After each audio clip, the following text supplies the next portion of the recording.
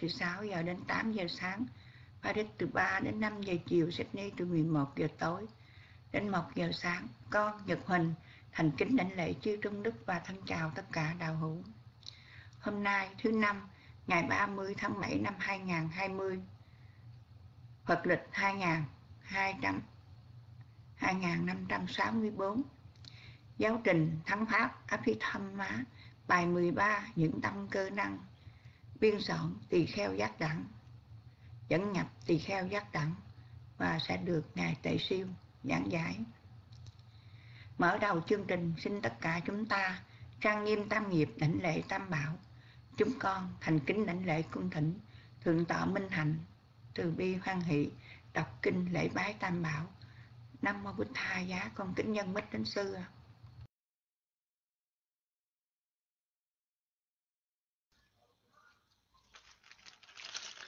Nhất tâm định lệ Đức Như Lai, bậc ứng cúng chánh biến tri, minh hành túc, thiện thể, thế gian dạy, vô thượng điều ngự, thiên nhân sư, Phật, Thế Tôn. Nhất tâm định lễ chánh pháp do Phật thiện thuyết thiết thực hiện tiền vượt ngoài thời gian đến để chứng nghiệm hiểu năng hướng thượng trí giả thân chứng Nhất tâm đảnh lễ chư tăng đệ tử Thế Tôn, bậc diệu hạnh, trật hạnh, như lý hạnh, chân chánh hạnh, gồm bốn đôi tám vị đáng nhận lễ phẩm, tặng phẩm, tế phẩm, kính lễ, phước điền vô thượng trong đời. Nguyện cầu quý Đức Phật bảo, nguyện cầu quý Đức Pháp bảo, nguyện cầu quý Đức Tăng bảo, xin Tam bảo gia hộ ngăn ngừa mọi tai ương, những hiện tượng bất tường, những mộng mị sâu xa, những nghịch duyên trở ngại thải đều mau tan biến. Nguyện muôn loài chúng sanh, người khổ xin hết khổ, người sợ hết sợ hãi, người sầu hết sầu bi, biết cho với niềm tin, biết hỗ trì giới hạnh, biết lạc trú trong thiền. Chư thiên đã vân tập xin tùy hỷ phước lành được các tường như ý rồi phản hồi thiên sứ chư toàn giác đại lực chư độc giác đại lực, thinh văn giác đại lực, nguyện tổng trì uy đức, cầu phúc lành phát sanh.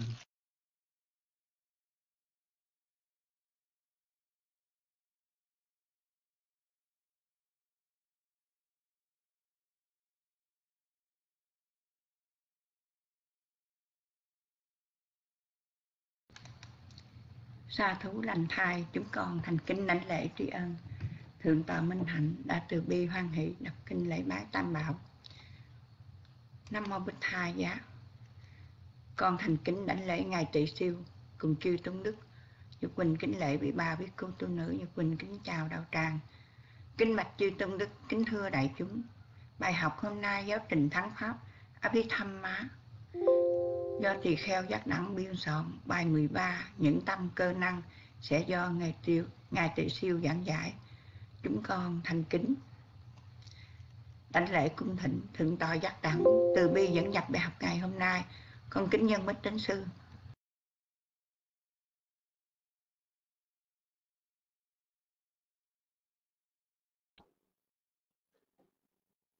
Nam mô Bích Thầy Nhà Kính đại lễ thượng tọa tuệ siêu, đại lễ chư tôn đức thân chào tất cả quý Phật tử. Thưa vị giờ nếu mà những ai ờ, có dịp so sánh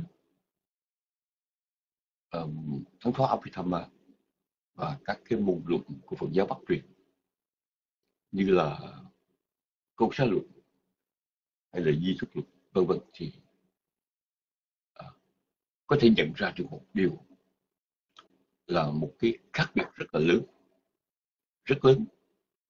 Đó là thắng thoát Abhidhamma đề cập đến cái diễn trình của tâm thức. Trong tiến trình tâm thức này là cái dòng tâm thức được kết nối bằng nhiều sát na tâm. Và không đơn giản chỉ là à, đề cập chung chung mà đi vào rất là chi tiết. Và nếu chúng ta học về những cái tiến trình của tâm thức mà chúng ta chỉ học những cái tâm tạo nghiệp như tâm bất thiện tâm thiện. Tâm vân thiện. chúng ta không hiểu rõ về một số cái đặc tính của uh, tiến trình tâm. Việc học và các cái tâm mà đóng cái vai trò gọi là máy móc. Ở đây chúng ta tạm gọi là tâm cơ năng đó nó rất là quan trọng uh, khi mà đi vào phần này thì chúng tôi có một cái dụng tâm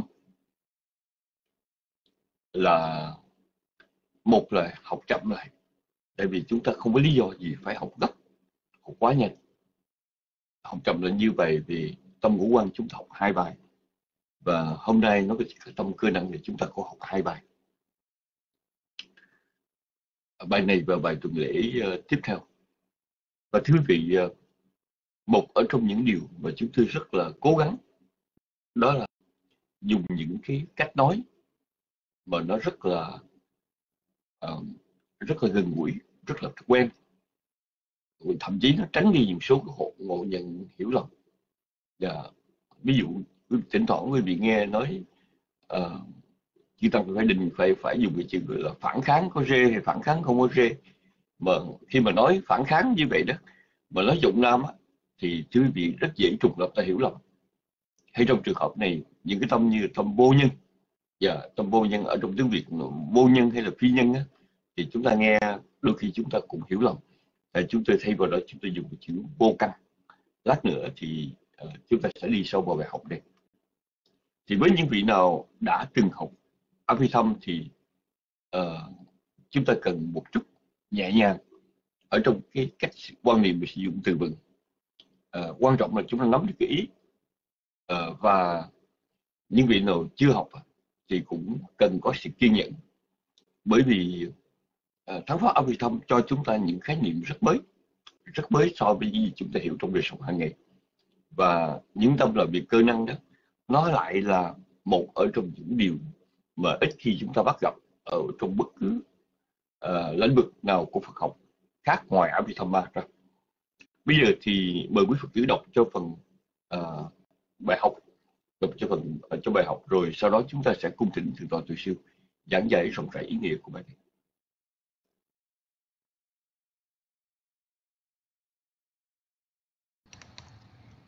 Dạ sa thủ chúng con thành kính thỉnh lễ tri ân Thượng tọa giác đẳng đã từ bi dẫn dắt bài học ngày hôm nay và cảm ơn Phong Lan cho Nhật Quỳnh biết được tín hiệu. Cảm ơn Hoàng Nguyệt.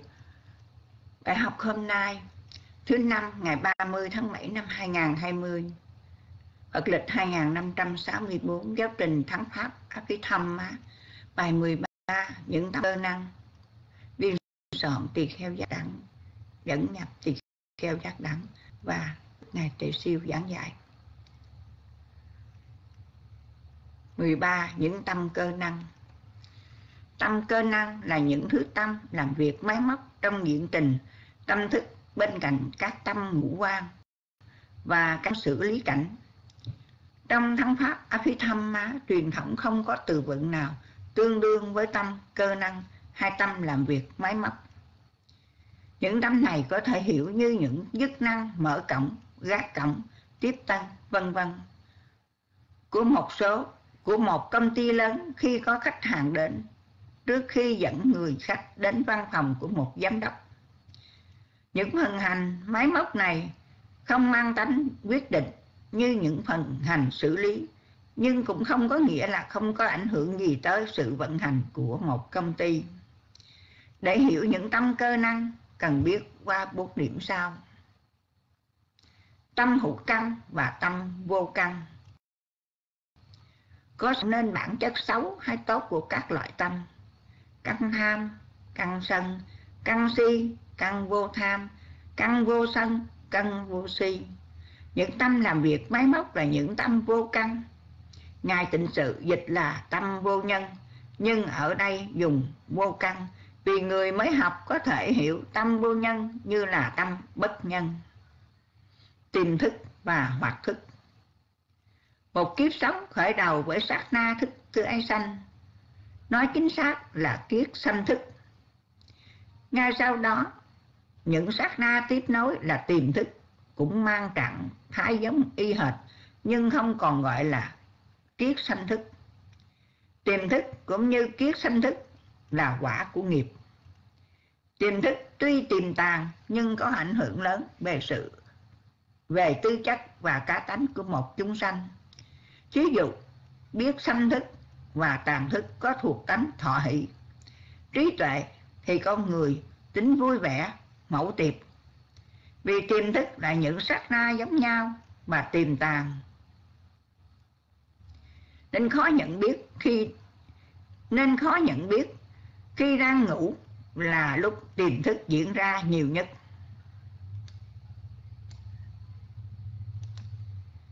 Chữ tiềm thức tương đối, phổ thông trong lúc Phật học, Hán ngữ, dùng chữ tàn thức.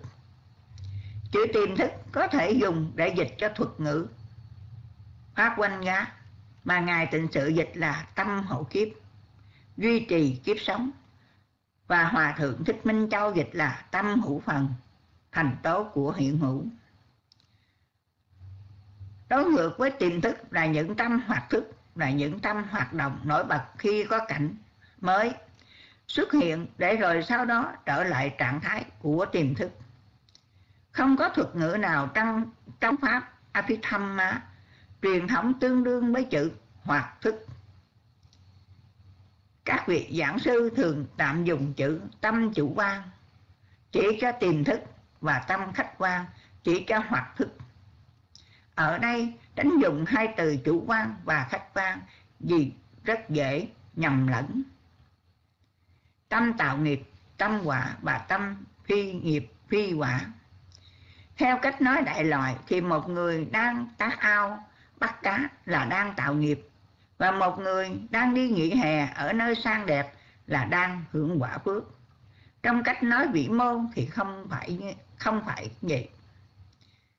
Trong từng khoảng khắc của cuộc sống luôn là sự hòa quyện của nghiệp, quả nghiệp và những tâm phi nghiệp, phi quả phải hiểu rõ sự pha trộn vô cùng tế nhị này, mới hiểu những khía cạnh quan trọng của dòng tâm thức theo thắng pháp. Những tâm bất thiện và tâm thiện trong phần hành xử lý cảnh và tâm tạo nghiệp. Tiềm thức, tâm ngũ quan và một số tâm cơ năng là tâm quả.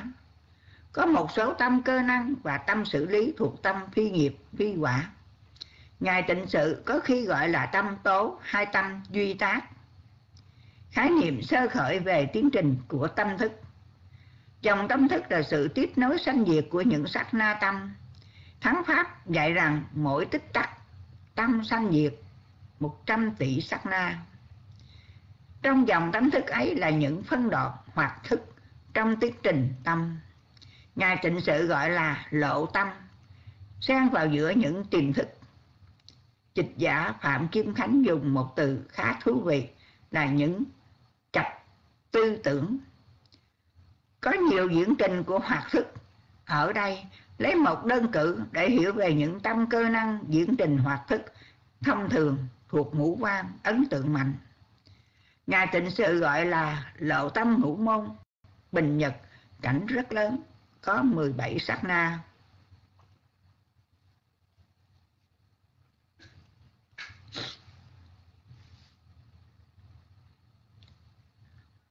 Tiềm thức chuyển thể. Dạ con dạ con đã thấy rồi. Dạ một chút con sẽ sửa trong bài học của con. Con kính tri ân sư. Tiềm thức chuyển thể. Ati tác phát quanh gá tiềm thức dao động. Phát quanh gá cha la ná tiềm thức chán nộp phát quanh gút bách chê đá. Tâm kháng ngũ môn. Banh trách đo ra quách chana tâm ngũ quan banh chấp huynh nhà ná. Tâm tiếp nhận sam bát cha ná. Tâm quan sát san ti ra ná. Tâm phân định quách tháp bá ná.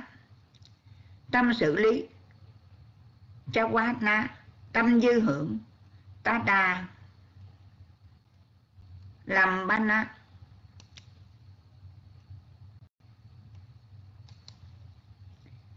Lấy một thí dụ về một công ty bất động sản có phạm vi kinh doanh lớn với đầy đủ nhân sự.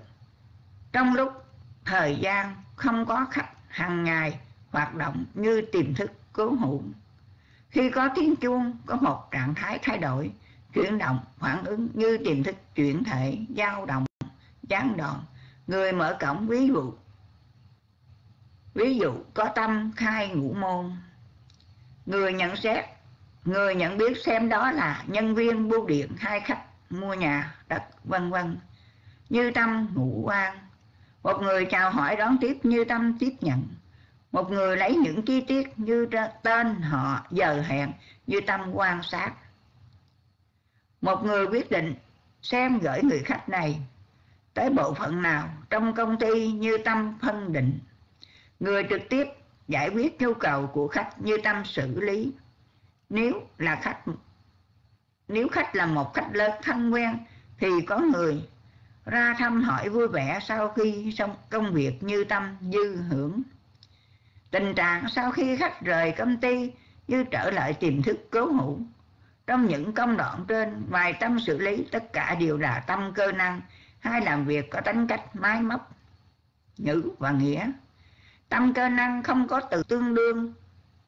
Trong thắng pháp truyền thống, thắng pháp có nói về 14 chức năng kích chát của các thức tâm nhưng không có phân nhóm. Hoặc thức cũng không có từ tương đương.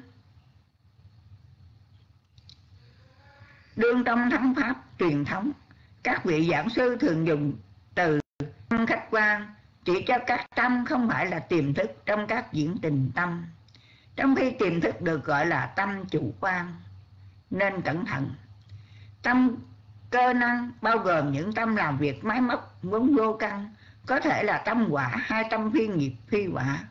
Những đặc tính vô căn, hữu căn, tâm quả, tâm phi nghiệp, phi quả mang ý nghĩa đặc biệt đối với tâm cơ năng mà người học thắng pháp cần lưu ý. Để hiểu rõ vai trò tâm cơ năng, cần có khái niệm về diễn trình tâm thức minh họa. Các tâm cơ năng trong diễn trình tâm thức. Nhà kính mời quý vị có thể đi qua bên uh, có thể coi những hình minh họa hoặc có đường link.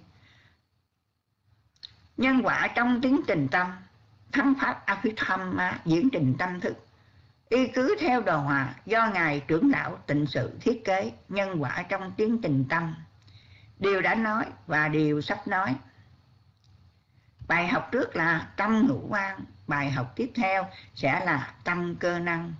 Tiếp theo. Dạ cảm ơn lăng dòng nghiệp năm mô bích hai giá. Dạ bản chánh văn đến đây.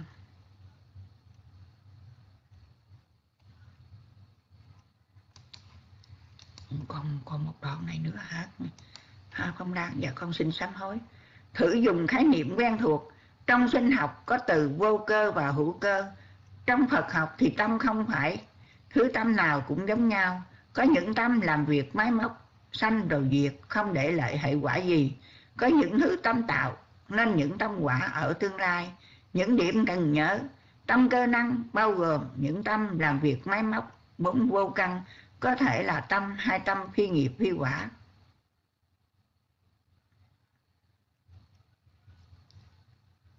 Dạ.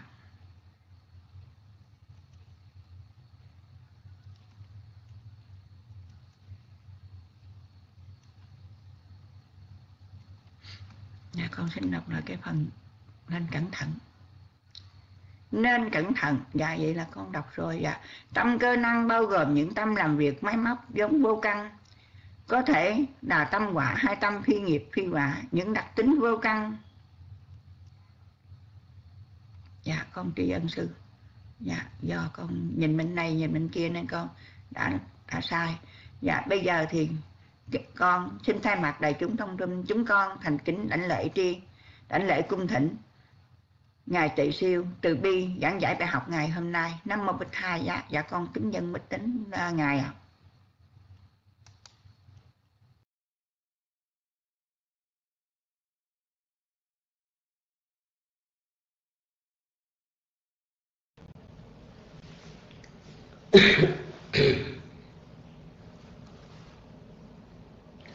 thầy.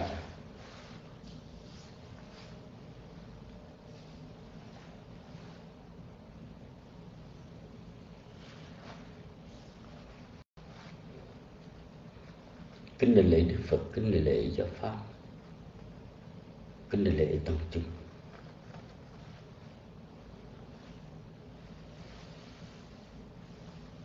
Thật kính thưa quý vị.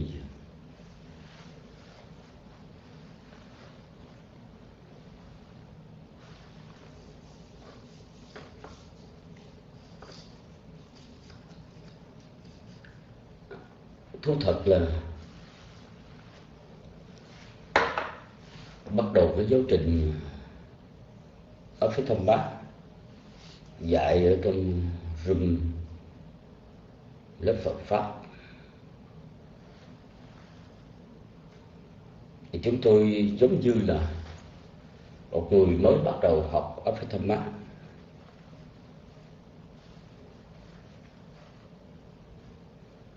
chứ không phải là cái người dạy.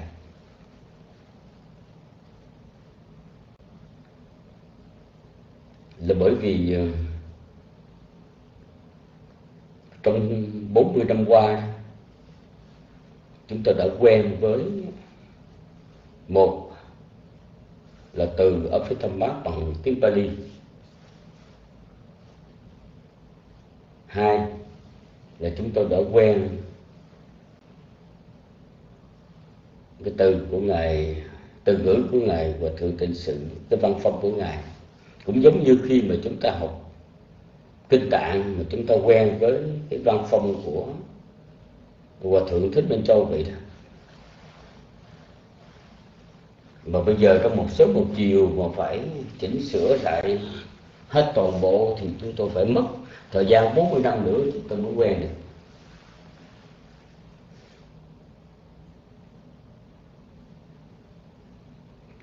Cho nên một điều mà chúng tôi rất lấy làm băn khoăn là nếu mà chúng ta không theo sát của văn Pali ấy, thì như vậy nó không trở thành ờ, ở phía thâm bát cái hệ tạng Pali nữa. Và nếu như chúng ta xài những cái từ khác đi thì sau này cái truyền thống của hòa thượng tịnh sự, đại lão hòa thượng tịnh sự thì sẽ mất. Và chúng ta sẽ là người tối hậu để làm cho mất đi cái truyền thống đó. Sau này không còn ai hiểu được cái tâm vô nhân và cái tâm hữu nhân. Mà những người mới nghe qua thì sau này họ thuộc lòng là tâm vô căn hữu căn. Và thưa quý vị ở đây khi mà chúng tôi ờ, gặp những cái từ mới đó, thì cái tâm phá quan gác nếu xài cho cái nghĩa cái từ mới là tiềm thức và cái tâm hoạt thức, thì chúng tôi ờ, có thể chấp nhận được. Thay cho cái chữ tâm chủ quan và tâm khách quan mà trước đây vẫn dùng bởi vì ở trong tiếng Bali không có tâm nào là tâm chủ quan và tâm nào tâm khách quan cả. Nhưng mà riêng về tâm hữu căn và vô căn đó, thì chỗ này chúng tôi xin đề nghị, mặc dù tham sân si, vô tham vô sân vô si, thì cũng cũng có chỗ gọi là căn, chẳng hạn như là trong bộ thứ sáu của tạng vị diệu pháp của Yamaka bộ sông đối thì có Mulat Yamakan ở trong cái phần đầu, trong cái sông đối đầu tiên, trong cái phần sông đối đầu tiên thì đó là Mulat căn căn ở đây tức là chỉ cho căn danh, ba căn thiện, ba căn bất thiện và ba căn vũ khí ba căn thiện, ba căn vũ khí vũ tham, vũ sân vũ si. À, ba căn à, bất thiện là vô là là là tham, là sân, là si. Thì cái chữ căn đó vẫn xài được cho à, sáu căn này. Tham, sân, si, vô thông vô sân, si. Nhưng ở đây khi nói đến tâm thì ở, thì dùng cái danh từ khác. Tức là không xài mu lá nữa, mà xài chữ hê tú. Không thể nào sa hi tu cá mà chúng ta dịch là tâm hữu căn được. Không thể nào a hi tu cá chích tá, mà chúng ta dịch là tâm vô căn được.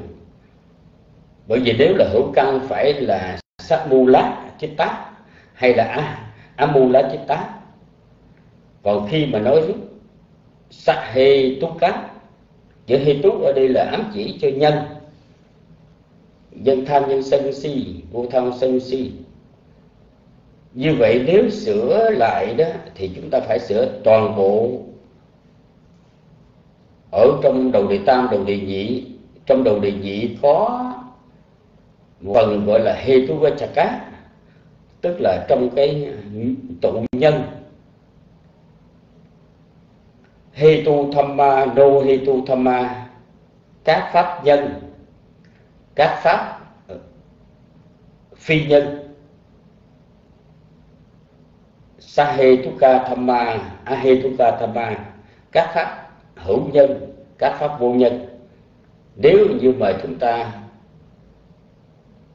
xài như vậy đó, thì như vậy hetu thamma no hetu thamma chúng ta dịch là pháp căn, pháp vô căn, pháp phi căn thì nó không đúng với tiếng Bali. Và ở đây chính ngài Anuruddha ở trong cái tác phẩm Abhidhammattha Sangraha thắng pháp tập ý luận ngài cũng cái nhóm tâm nhãn thức chỉ thức, tỷ thức thiệt thức, thân thức, tâm thu, tâm quan sát, tâm khai ngũ môn, tâm khai khác ngũ môn, khác y môn, tâm ưng cũng bị tiếu ưng cũng sinh tiếu ngài gọi đó là a chích tắc cho nên ở chỗ này đó, chúng tôi xin ờ, phép là chúng tôi vẫn xài lại cái danh từ cũ. Không có xài cái danh từ mới, bởi vì theo trong bài mà thượng tọa giới đẳng nêu thì nếu mà xài chữ ờ, hữu nhân và vô nhân vô nhân người ta sẽ hiểu lầm. Chứ tôi nghĩ rằng nếu một người mà đã học vi pháp thuần thục rồi thì nói đến tâm vô nhân họ không hiểu lầm không thể hiểu lầm được. Cũng như khi mà chúng ta xài cái tâm vô căn đó thì người ta nghe thoáng qua người ta cũng có thể hiểu lầm được như thường. Vì sao vậy? Vì danh tự trong luật á, thì uh, vậy là vô căn gọi là nam căn nữ căn. Uphato danh năng là lưỡng căn và Vandaka là vô căn là người vô căn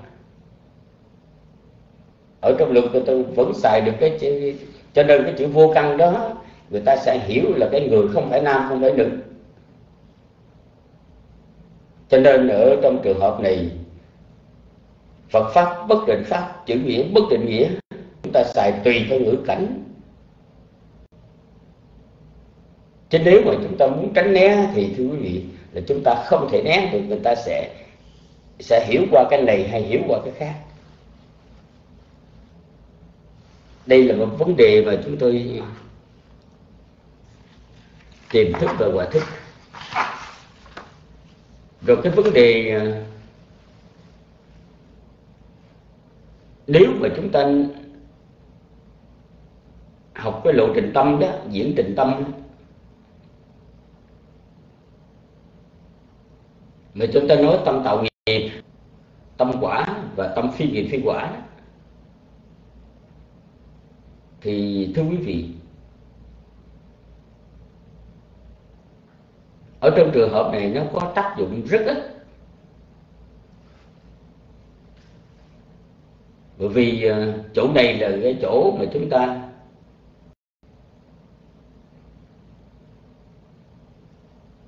không cần thiết, chúng ta phải nêu lên như vậy. Nếu như mà chúng ta học về đầu đề tam Tika Matika đó Tika Matika thì tham ma các pháp quả quý bà các tham ma tham ma các pháp dị thuộc nhân. Nếu có Vipaka tham ma tham ma các pháp phi quả phi nhân, thì cái chỗ đó là chúng ta mới nói mới phân tích. Còn ở đây thưa quý vị khi mà chúng ta mới học cái tâm, đang học về cái tâm ờ, vô nhân, hay là cái tâm cơ năng đó, mà chúng ta trình bày ở trong đó vậy thì suốt cả một quá trình dài mà chúng ta học về cái tâm dục giới tình hảo, nó có ba. Tám tâm thiện dục giới, chúng ta gọi, chúng ta phải phân tích thêm là đó là tâm tạo nghiệp. Tám tâm quả dục giới hữu nhân. Thì chúng ta gọi đó là cái tâm quả. Và cái tâm tố hay là tâm duy tác kiriya tám tâm đại tố, thì đó là tâm phi quả phi nhân. Phi quả phi nhân tức là phi nghiệp, phi phi quả đó và học về tâm sắc giới, chúng ta cũng phải phân ra ba cái đó. Rồi chúng ta học vô tâm vô sắc giới, chúng ta cũng phải phân ba cái đó. Còn tâm siêu thế đó thì ở đây, cái tâm mắt cái chích tá à, tâm thiện, cái này cũng gọi là nghiệp. Rồi cái tâm quả là phi quả, là là thô quả. Tâm tâm siêu thế thì không có tâm phi quả phi nhân không có tâm phi nghiệp, phi quả nó không có tâm tố cho nên ở đây đó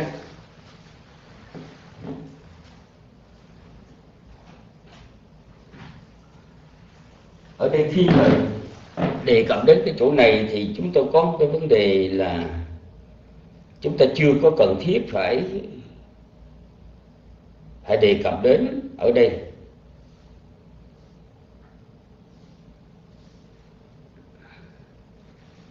Bây giờ thì ờ, chúng ta trở lại với bài học hôm nay. Thì trong cái bài học hôm nay đó, chúng ta được học về những cái tâm kế tiếp, năm ờ, tâm thức hay là ngũ xung thức, kế tiếp ngũ xung thức. Vì ngũ xung thức hay chúng ta gọi là năm tâm ngũ quan ờ, panchak Panchak năm chúng ta đã học xong tuần trước rồi. Thì bây giờ chúng ta phải học tiếp, học thứ lớp. Là tiếp theo đây là chúng ta học về về cũng những tâm ừ, cơ năng. Mà nó thuộc về cái tâm quả. Đó là tâm tiếp thu hay là tâm tiếp nhận. Bài học mới của chúng ta dùng cái chữ, dịch cái chữ sampatichana chữ tăng, dịch là tâm tiếp nhận, thì nó cũng đúng với cái nghĩa Pali gì tiếp nhận cảnh đó, tiếp nhận cảnh. Và thượng tịnh sự thì ngài xài cái tâm tiếp thu cũng tiếp thô cảnh. Và cái chữ Santirana dịch là tâm quan sát.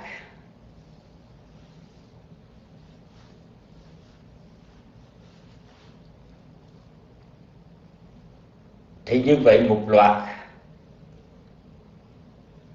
cặp nhãn thức, cặp nhĩ thức, cặp tỷ thức, cặp thiệt thức, cặp thân thức, gọi là ngũ xung thức cập tiếp thu. Cập ba tâm quan sát. Tới ba tâm quan sát rồi. bởi vì quả bất thiện thì chỉ có một tâm quan sát thôi, xả thôi. Còn à, quả thiện, vô nhân thì có hai cái tâm quan sát. Một cái là thọ hỷ, một tâm là thọ xả. Thọ xả, thọ hỷ. Rồi chúng ta còn ba cái tâm. Ba cái tâm này gọi là ba tâm phi quả phi nhân mà chúng ta gọi là kriya. Chất tác hay là tâm duy tác. Vì những cái tâm này có hạt, có hoạt động, nhưng mà không có quả của hành động. Hoạt động thôi, nhưng mà không có quả không có tạo ra cái quả. Thì đó là cái tâm kháng ngũ môn Panchadwara Vachana Chitta và kháng y môn Mano Dwara Vachana Chitta và có một tâm vô nhân kế tiếp nữa cũng thuộc về tâm tâm tố, tâm duy tác nhưng mà tâm này không phải là tâm cơ năng. Không phải là tâm cơ năng. Tâm này nó thuộc về châu quanh áp đó là tâm động lực sinh tiếu. Chữ Hastapada Chitta đúng nghĩa của tiếng Bali thì chỉ là tâm sinh tiếu thôi. Nhưng mà vì để cho rõ nghĩa mới gọi là ưng cúng sinh tiếu. Ưng cúng sinh tiếu. Nhưng mà các vị giáo thọ nghĩ rằng là vì tâm này làm việc cười cho bậc tứ quả, bậc a la hán cho nên lấy cái nghĩa làm nụ cười mà gọi là vi tiếu, ưng cúng vi tiếu chứ kỳ thực đó là giữa hasta và upada hasitupada là sanh ra nụ cười gọi là sinh tiếng chúng tôi thường thường chúng tôi thích đi sát với cái tiếng Bali chữ đâu nghĩa đó. Như vậy nó, nó không có bị ờ, lạc lạc lõng và nhất là khi mà mình phải tiếp xúc với người chư tăng ở miến điện hay tích lan hay thái lan. Và các vị nói chuyện, bàn về Aphtapad thì lúc đó những cái từ, những cái thuật ngữ ở trong Aphtapad chúng ta xài tiếng Bali nó quen. Rồi cái từ đó là không thay đổi được. Cái từ đó là không thay đổi được còn khi mà chúng ta học mà chúng ta chỉ học trong cái nghĩa Việt không đó thì chúng ta có thể thay đổi. Thí dụ như chữ Kriya tác có khi xài là, có chỗ xài là tâm hạnh, có chỗ xài là tâm duy tác có chỗ xài là tâm tố. Rồi như tâm châu có đá chích tác châu có đá chích tác từ ngàn xưa đến bây giờ thì vẫn là châu có đá chích tác nhưng mà có khi thì xài là cái tâm động lực, động tốc tâm thành tâm tốc lực, rồi tâm thực nữa. Chúng ta xài xài nhiều chữ quá. Mà nhiều chữ như vậy thì mỗi một vị giáo thọ, họ thích xài, họ ưng xài chữ nào xài chữ đó cho nên các vị học viên đó, là nếu được thì chúng ta cố gắng làm sao để chúng ta học. Chúng ta chỉ cần xài cái từ ngữ Bali bên cạnh đó thì chúng ta hiểu ý nghĩa là đủ rồi. Còn hãy khi mà chúng ta gặp vị giáo thọ mà xài cái từ đó, nhắc đến cái tiếng Bali đó thì chúng ta in ở trong đầu là chúng ta xài được cái cái từ đó, hiểu nghĩa đó. Bây giờ trở lại thưa quý vị.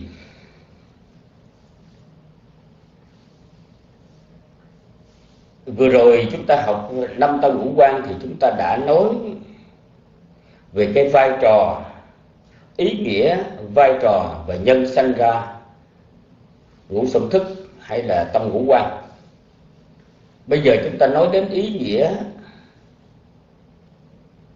và vai trò của ờ, tâm tiếp thu và tâm quan sát. Cái tên tiếp thu ở đây đó chữ sampatichetta có nghĩa là thu nhận. Thu nhận ở đây là thu nhận cái gì? Tức là cái tâm này nó có cái chức năng là đã thâu nhận cảnh sắc cảnh thinh cảnh khí cảnh vị cảnh xúc mà. Năm tầng ngũ quan nó vừa bắt lấy. Năm tầng ngũ quan nó vừa bắt lấy. Thì, thì cái giai đoạn à, tâm tiếp thu thì cái giai đoạn này nếu mà xài cái từ Ờ, chuyên môn gọi là mano tha túc là cái tâm ý giới. Tâm tiếp thu là tâm ý giới. Ý giới này nó mới trợ cho ý thức giới. Bởi vì thức, nhãn thức giới không thể nào mà trợ cho tâm ý thức giới sanh khởi liền được đâu.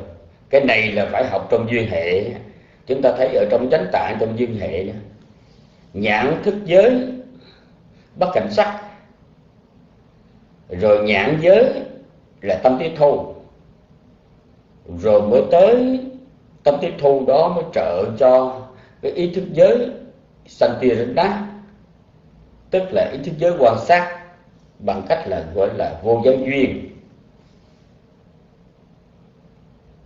Thì như vậy đến cái giai đoạn quan sát đó là xem như là cái giai đoạn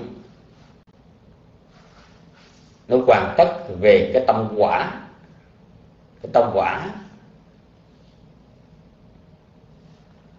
Chúng ta lặp lại là trong cái diễn trình tâm ấy diễn ra trước hết là một cảnh hiện lên cảnh sắc cảnh thinh, cảnh khí, hoặc cảnh vị thì sau khi phát con gác pháp văn vũ bách chi đá, tức là cái tâm tiềm thức dứt dòng, hay là cái tâm hộ kiếp dứt dòng đó, gọi là tiềm thức dòng hay là hộ kiếp dứt dòng. Xong rồi thì tiếp đó là cái tâm kháng ngũ môn. Phần chất và ra với tên á tác. Tâm kháng ngũ môn này không phải là tâm quả, mà nó thuộc về thuộc về tâm tố vô nhân, tâm tố. Và cái tâm tố kháng ngũ môn nó cũng thuộc về ý giới. Chỉ mới là ý giới chứ chưa phải là ý thức giới. Mà đồ thà tú. Còn kháng ngũ ý môn đó thì mới gọi là tâm ý thức giới vô nhân. Tố ý thức giới vô nhân. Nếu mà gọi đúng từ, tố ý thức giới vô nhân. Ở trong cái thanh tịnh đạo, ở trong thanh tịnh đạo, ngài Bố Tát Phú Sáng, ngài dùng từ rất là, ngài dùng từ Bali rất là chuẩn trong trường hợp này ahetuka.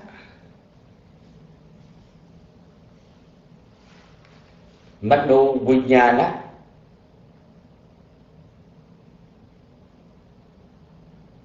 mano thatu mano thatu. Ý gọi là ý giới.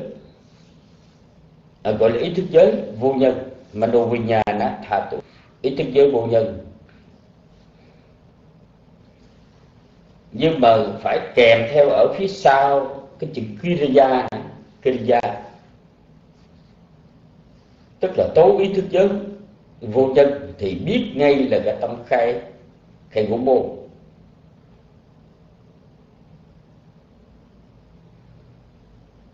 Thì ở đây thứ vị, cái diễn trình tâm diễn ra thì tâm khang, khai ngũ môn như là một cái tâm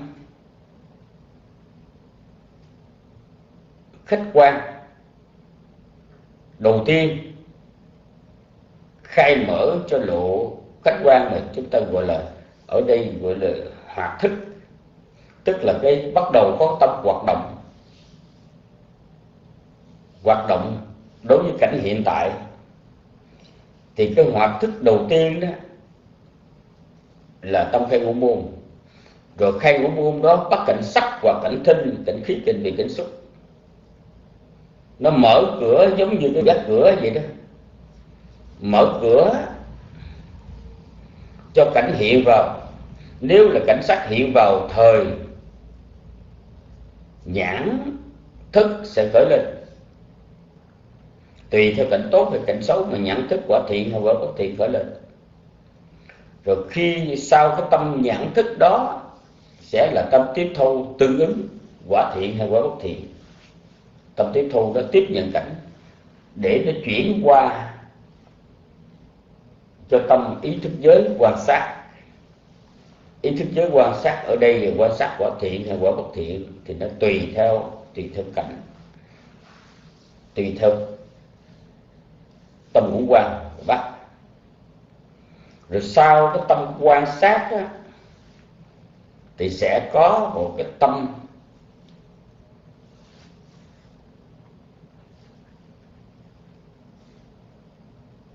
chúng ta gọi là ý thức giới, tố ý thức giới vô chân tức là tâm khai ý mô hay là tâm kháng ý mô và ở cái vị trí này, trong lộ tâm ngũ môn đó, thì ý khai ý môn nó có tên gọi là Vatabana tức là cái tâm phân đoán,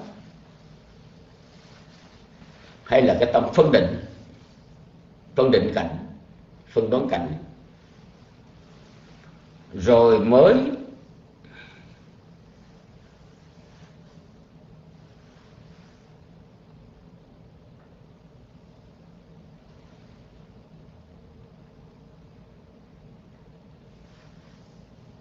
tâm phân định đó, nó thuộc về ý thức giới. Mặc dù nó là vô nhân, nhưng mà nó là tố ý thức vô nhân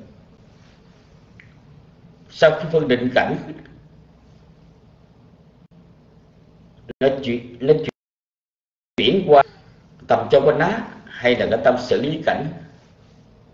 Mà chúng ta gọi là tâm động động lực. Trước kia gọi là tâm động lực hay động tốc cũng được, bởi vì không phải nó sanh một sát na rồi mất mà nó sanh nối tiếp liên tục. Trùng dụng duyên AC quanh áp có giá trùng dụng duyên bảy sát na tâm. Bảy sát na tâm cho quanh á bảy sát na tâm cho quanh á này.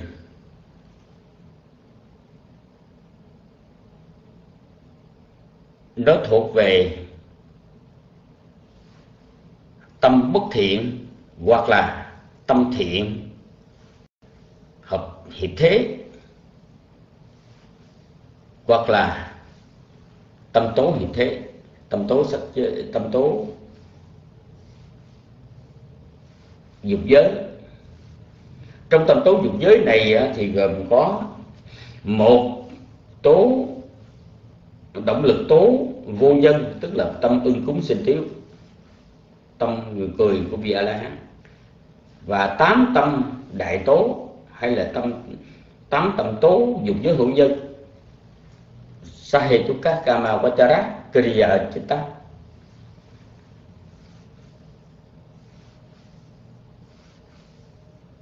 rồi sau bảy cái sát na động lực đó, nếu cảnh này nó còn, cảnh này cảnh rất lớn atima hành tăng atima Atimahantang Atimahanta Ramanam, thì cảnh rất lớn thì lúc bây giờ nó còn dư còn dư cảnh thì những thì có hai cái sắc na tâm, ta đà làm bên á, gọi là tâm dư hưởng hay là tâm na cảnh. Ngài hòa thượng minh châu ngày dịch là tâm đồng sở duyên. Sở, đồng sở duyên sở duyên đây là cảnh. Và chữ đồng tức là nó giống như cảnh của tâm động lực. Lúc đầu ngài hòa thượng nên sự, ngài xài cái tâm này gọi là tâm mót mót cảnh. Ngài mới đưa ra một cái thí dụ. Và cái thí dụ này được ngài Buddha Cô Xá trong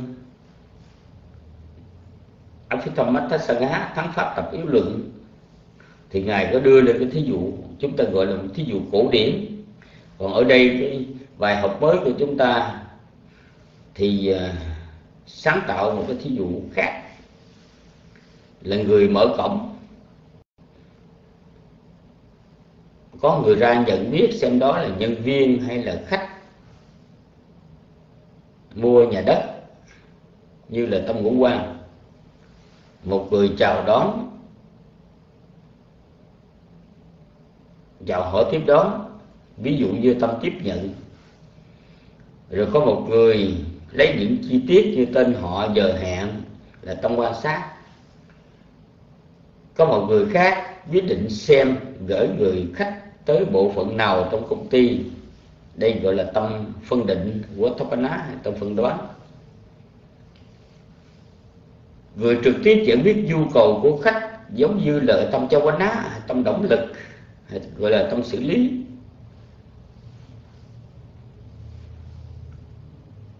Nếu khách nếu khách là một khách lớn thân quen thì sẽ có người ra thăm hỏi vui vẻ sau khi xong việc. Ở đây ví dụ giống như là cái tâm dư hưởng hay là cái tâm na cảnh. Cái tâm mót.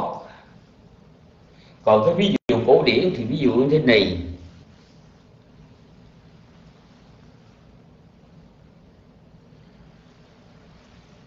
Một người đang ngồi, nằm ngủ dưới gốc cây xoài. Ví dụ như là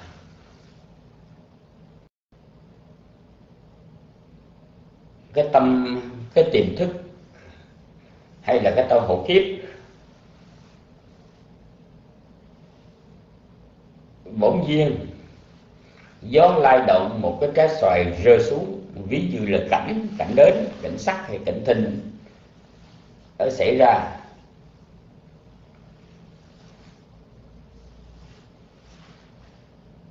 Người đó thức giấc.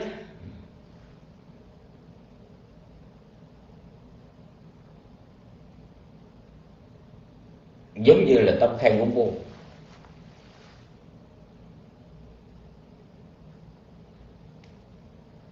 Rồi mắt nhìn thấy đưa mắt nhìn cái trái xoài. Nhìn thấy trái xoài gọi là tâm nhãn thức. Nhặt lên gọi là giống như tâm tiếp thu. Rồi mới xem, mới xoay sở cái trái xoài đó, xem là tâm quan sát.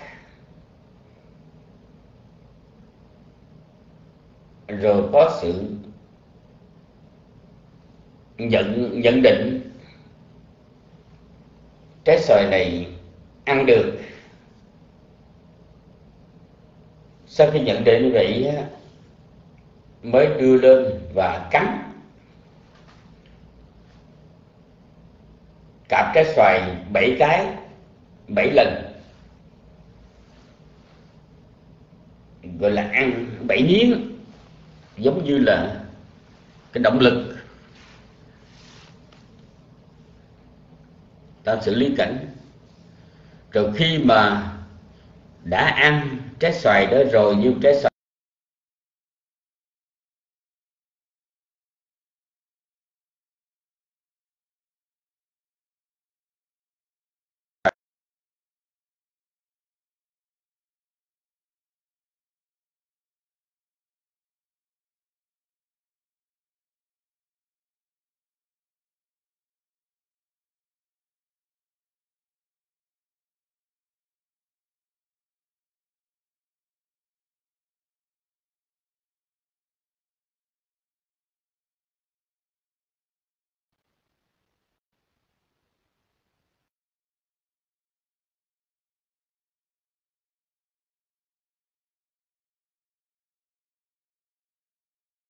cổ điển mà. Quý vị hết nghe hả? Ồ.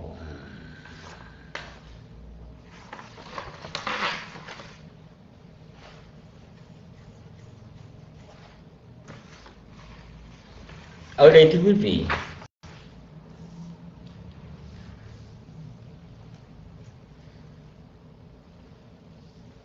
khi mà chúng ta học về à, 18 cái tâm vô nhân đó 18 tâm vô nhân này thì chúng ta phải chú ý.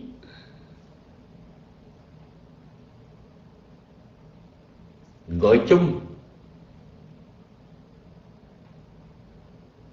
17 tâm gọi là tâm cơ năng ngoại trừ, tâm ưng cúng sinh tiếng. Tâm ưng cúng sinh tiếng. Là tâm thứ 18 tâm đó chúng ta không thể kể như là một tâm cơ năng được. Là bởi vì tâm này không phải làm việc máy móc, mà tâm này là cái tâm xử lý cảnh. Tâm xử lý cảnh của vị a la hán là cái tâm động lực, là tâm cho quanh đó nhớ chú ý chỗ đó chứ nếu mà chúng ta gom hết tất cả 18 đó mà chúng tôi nói tâm cơ năng thì chúng ta thiếu sót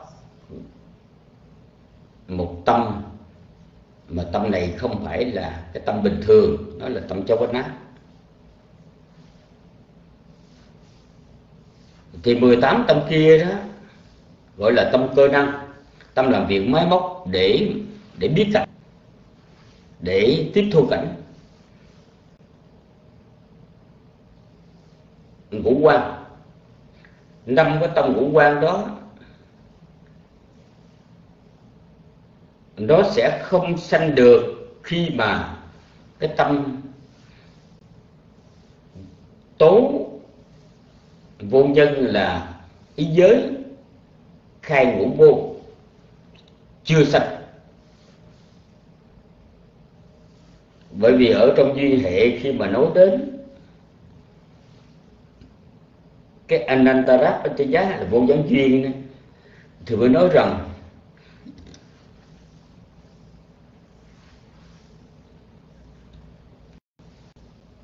ý giới trợ cho ngũ sung thức bằng cách vô gián duyên. Là người học cái diệu pháp là nghe biết là ý giới đó là chỉ cho tâm khai ngũ môn tâm đó sanh khởi để mở cửa cho, mở cửa năm uh, hệ thần kinh.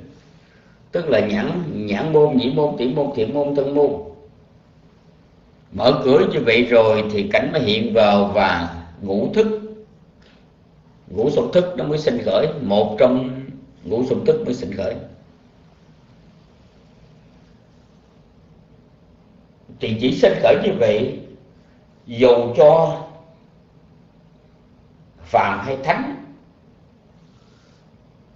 thì những tâm cơ năng này làm việc giống nhau. Một vị a la hán khi mà ngài nhìn cảnh sắc cảnh sắc đến mắt ngài nhìn thấy thì cũng là tâm ngũ xúc thức sinh khởi trước. Rồi đến cái tâm nhận thức, đến tâm tiếp thu đến cái tâm quan sát, đến cái tâm đoán định là cây môn. Rồi, bắt đầu khác nhau đối với phạm phu chúng ta là từ cái giai đoạn tâm chốc nát hay là cái tâm động lực hay là cái tâm xử lý. Vị a la hán thì ngài, cái tâm động lực đó hoàn toàn là tâm tố kriya tắc còn đối với bậc thánh hữu học, thì cái tâm động lực đó có thể là thiện, cũng có thể một vài tâm bất thiện. Còn như đối với phàm phu chúng ta thì tâm thiện, động lực thiện cũng có, mà hoàn toàn 12 tâm bất thiện cũng có. Vì đối với bậc thánh hữu học, những cái tâm bất thiện mà thuộc như vị tu đầu quần thì động lực mà thuộc về tham tà kiến thì không có. Tham hợp tạ không có. Si và nghi không có. Còn đối với vị tư đà hàm, thì giống như vị tu đà quần, chỉ có cái là giảm nhẹ thôi, giảm nhẹ vỏ ái sân. Riêng về vị ana hàm thì cái tâm bất thiện ờ, vẫn còn tham đi tà đi tà kiến và trong si phóng dịch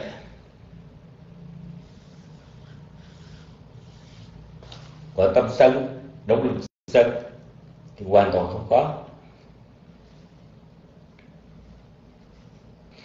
Thì do vậy, cho nên kể từ cái cái giai đoạn tâm khai ngũ môn cho đến giai đoạn của Vatapana tức là cái tâm đoán phân phân định đó, phân định hay phân đoán thì cái giai đoạn đó thì ở nơi một phàm phu hữu học hay bậc thánh vô học thì đều giống nhau. Và ở cái giai đoạn cho đá tức là động lực thì hạng phàm phu tánh hữu học khác. Còn đối với bậc a la hán thì giai đoạn này hoàn toàn là cái tâm vô ký không thiện không bất thiện tức là tâm kriya tâm tố, tâm chích tắc.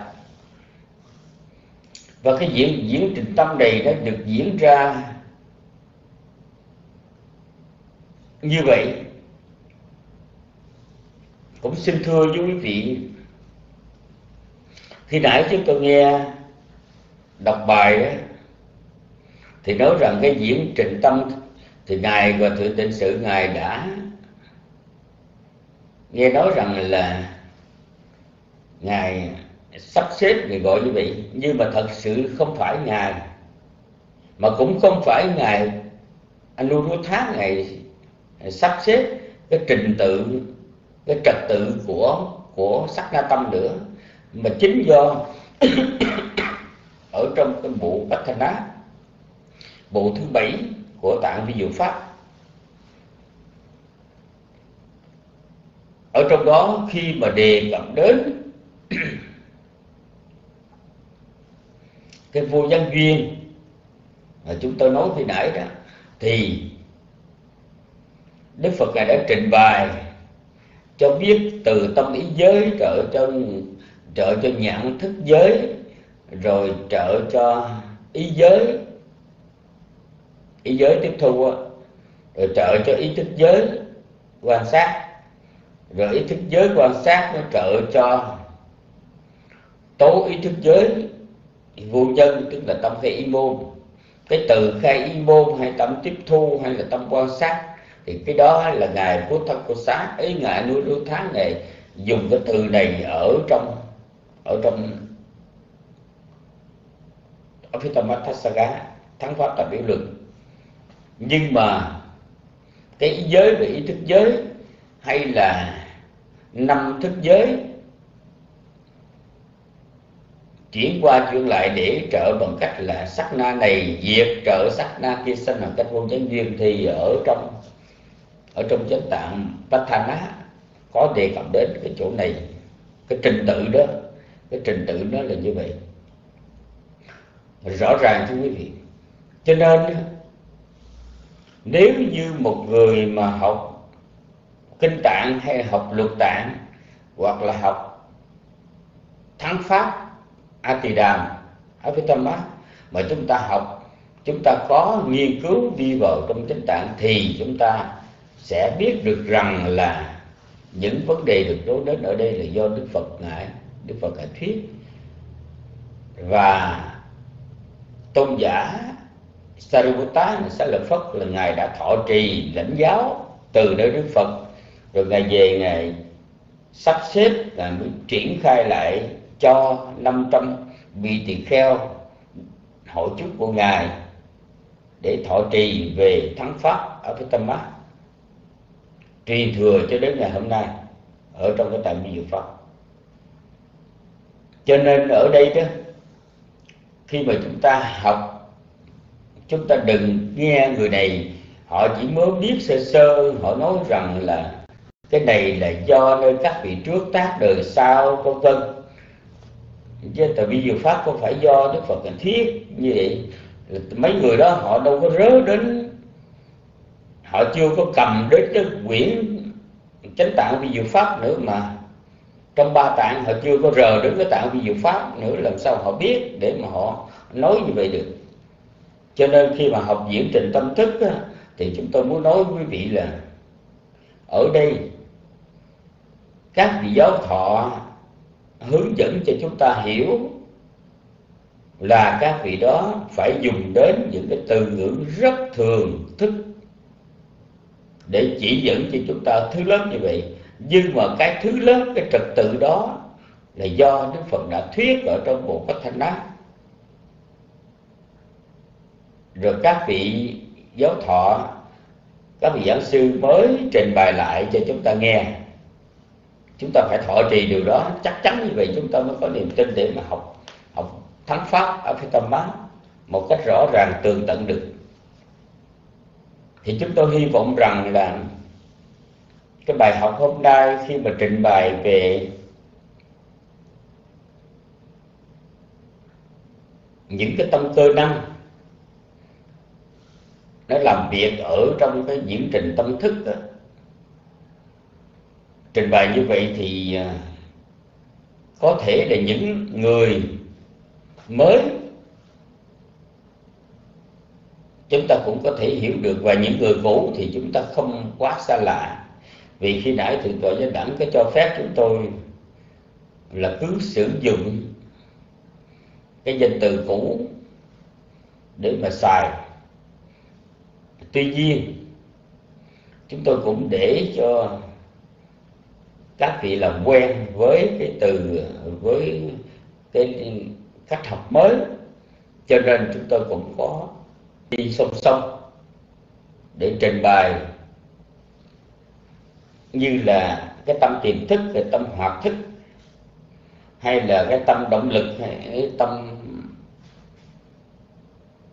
xử lý,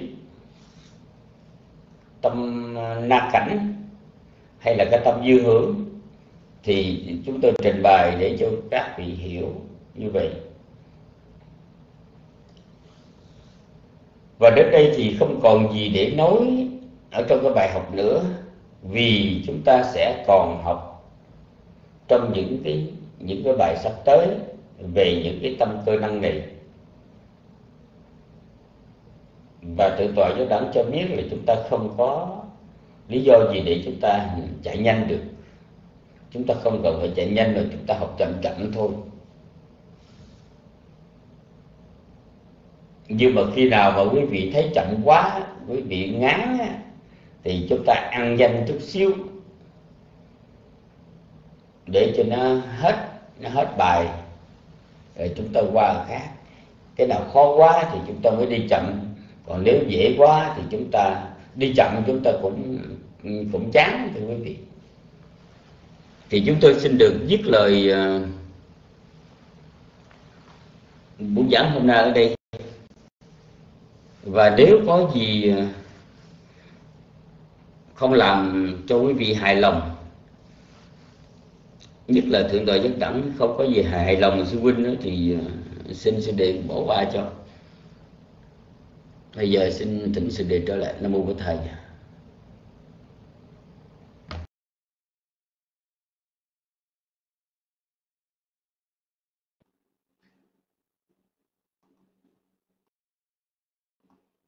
Sa thú cái trình thưa tôi cái sự à, thưa quý vị à, khi mà chúng ta học bộ thắng pháp rồi, được thì à, giống như chúng ta đi vào thành phố mới à, nó có một ngàn chuyện trăm ngàn thứ để nói nhưng mà bắt đầu từ đâu và tiếp theo chỗ nào thì thật ra thì nó cũng, nó cũng tùy người và tùy hoàn cảnh đó chứ không thể nào mà mà một trăm người đến thì đều giống nhau hoàn toàn được. À, ở đây chúng ta phải làm quen với rất là nhiều. À, và thưa là tí xíu à, để à, thỉnh thiên tọa khoan hỷ à, trả lời cho hai câu thảo luận rồi sau đó thỉnh thượng đi nghỉ. À, phần còn lại sẽ để thì tăng sẽ à, lo phần này. Thứ nhất là à, khi mà chúng ta à, đề cập đến cái cái tính chất nhân quả này.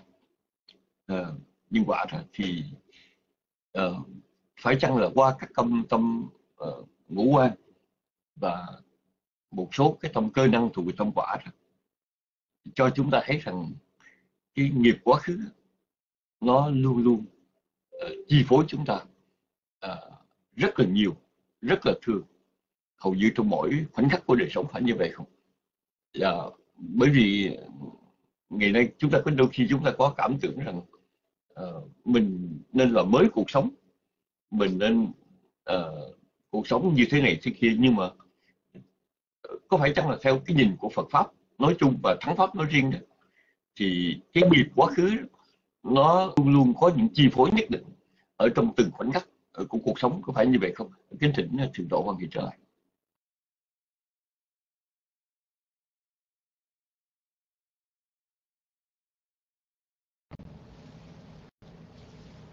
Nam mô Bụt Thầy. Kính bạch chư Tăng, kính thưa quý phật tử.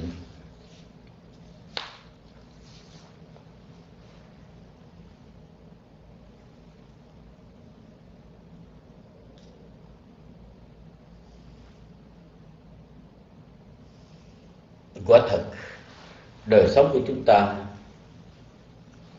nó bị chi phối nhiều do cái nghiệp của quá khứ chúng ta tạo.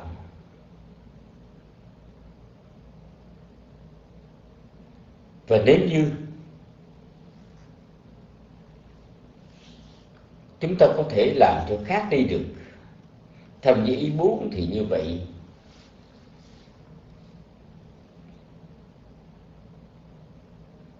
con người ta không cần nỗ lực để được giải thoát khỏi khổ sanh tử luân hồi.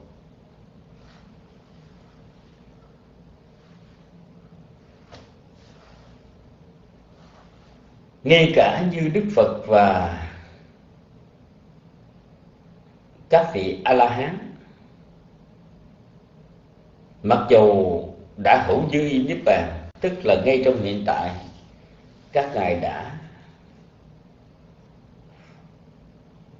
chức tuyệt được phiền não rồi. Nhưng mà cái chi phối của nghiệp của quá khứ làm cho cái thân tứ đại của ngài vẫn có những trường hợp cảm thọ khổ như đức phật ngài bị một mảnh đá văng trúng chân làm cho chảy máu. Và ngài phải cảm thọ khổ, thân khổ.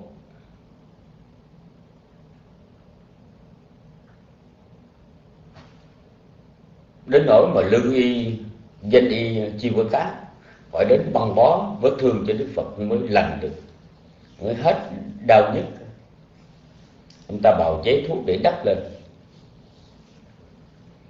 Thì đức phật ngài giải thích rằng do trong đời quá khứ khi còn là một cái chúng sanh vàm phu, lúc đó bồ tát ngài đã tạo cái nghiệp không lành này. Ngài, bồ tát lúc đó là một người ăn khi mà có sự cãi vã với người em. Người đã gây thương tích trên bàn chân của nó.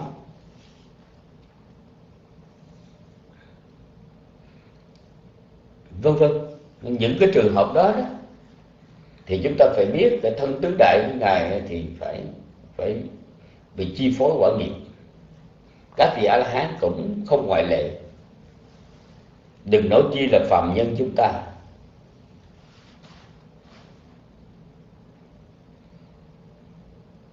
còn à, chúng ta nói về là nói về nội tâm thì khi nào mà đã vào cái dòng thánh vức tức là tu được quần tu đà hàm. Anh hàm rồi đó. Thì lúc đó là đã giảm thiểu được cái sự à, chi phối bởi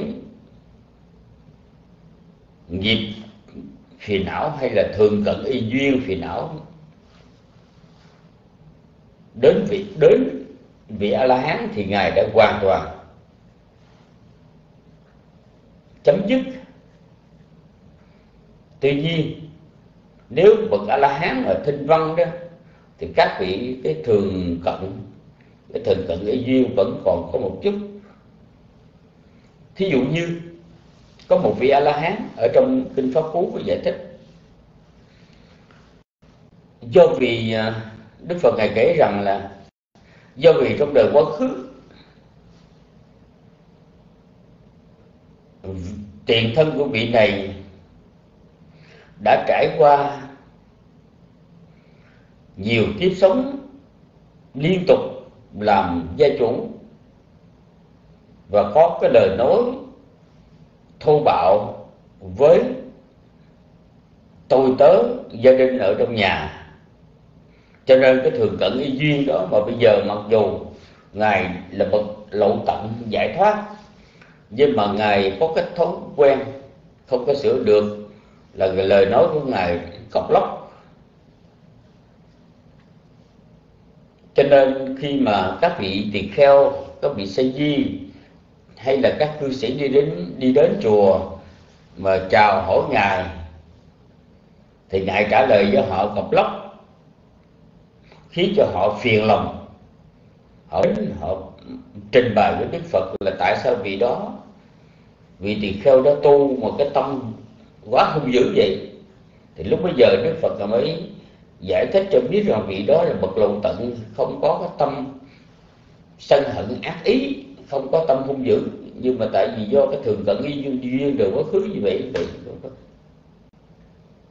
cho nên à, tiền khiên tật của vị đó, do cái thường cận y duyên cũng không thể sửa đổi được. Chỉ có bậc a la hán chánh đẳng giác thì ngài hoặc là bỏ hẳn, dứt hẳn cái tiền khiên tật do cái thường cận y duyên sống ở quá khứ. Bởi vì cái thời gian mà ngài tu tập ba la mật quá dày dặn và cái tâm hướng của ngài là mỗi mỗi một kiếp sống, nhất là những cái kiếp sống gần với thời gian đắc đạo quả thì lúc đó là một cái bồ tát này giáo riết là rèn luyện để kiểm soát được cái tư tưởng cho nên bỏ đi được. Nhưng nói là nói như vậy chứ nếu mà người phật tử chúng ta tu tập đó, mà chúng ta áp dụng được thì cũng tốt thôi quý vị. Thí dụ như đối với thân bệnh này. Biết nó bị bệnh, có thể là do năng nghiệp chi phối. Tuy nhiên, đức phật ngài cũng có dạy những cái pháp gọi là ai giúp Vatana tức là những cái pháp mà làm tăng, những cái điều kiện mà làm cho tăng thưởng trưởng tuổi thọ. Chẳng hạn như là trong bốn quan nghi, đi đứng nằm ngồi cho được điều hòa lợi ích của bệnh. Làm việc hợp thời, thì thân nó ít có bệnh. Ăn uống ẩm thực, những cái vật thực, nó dễ tiêu hóa, ít có bệnh ăn uống có tiết độ.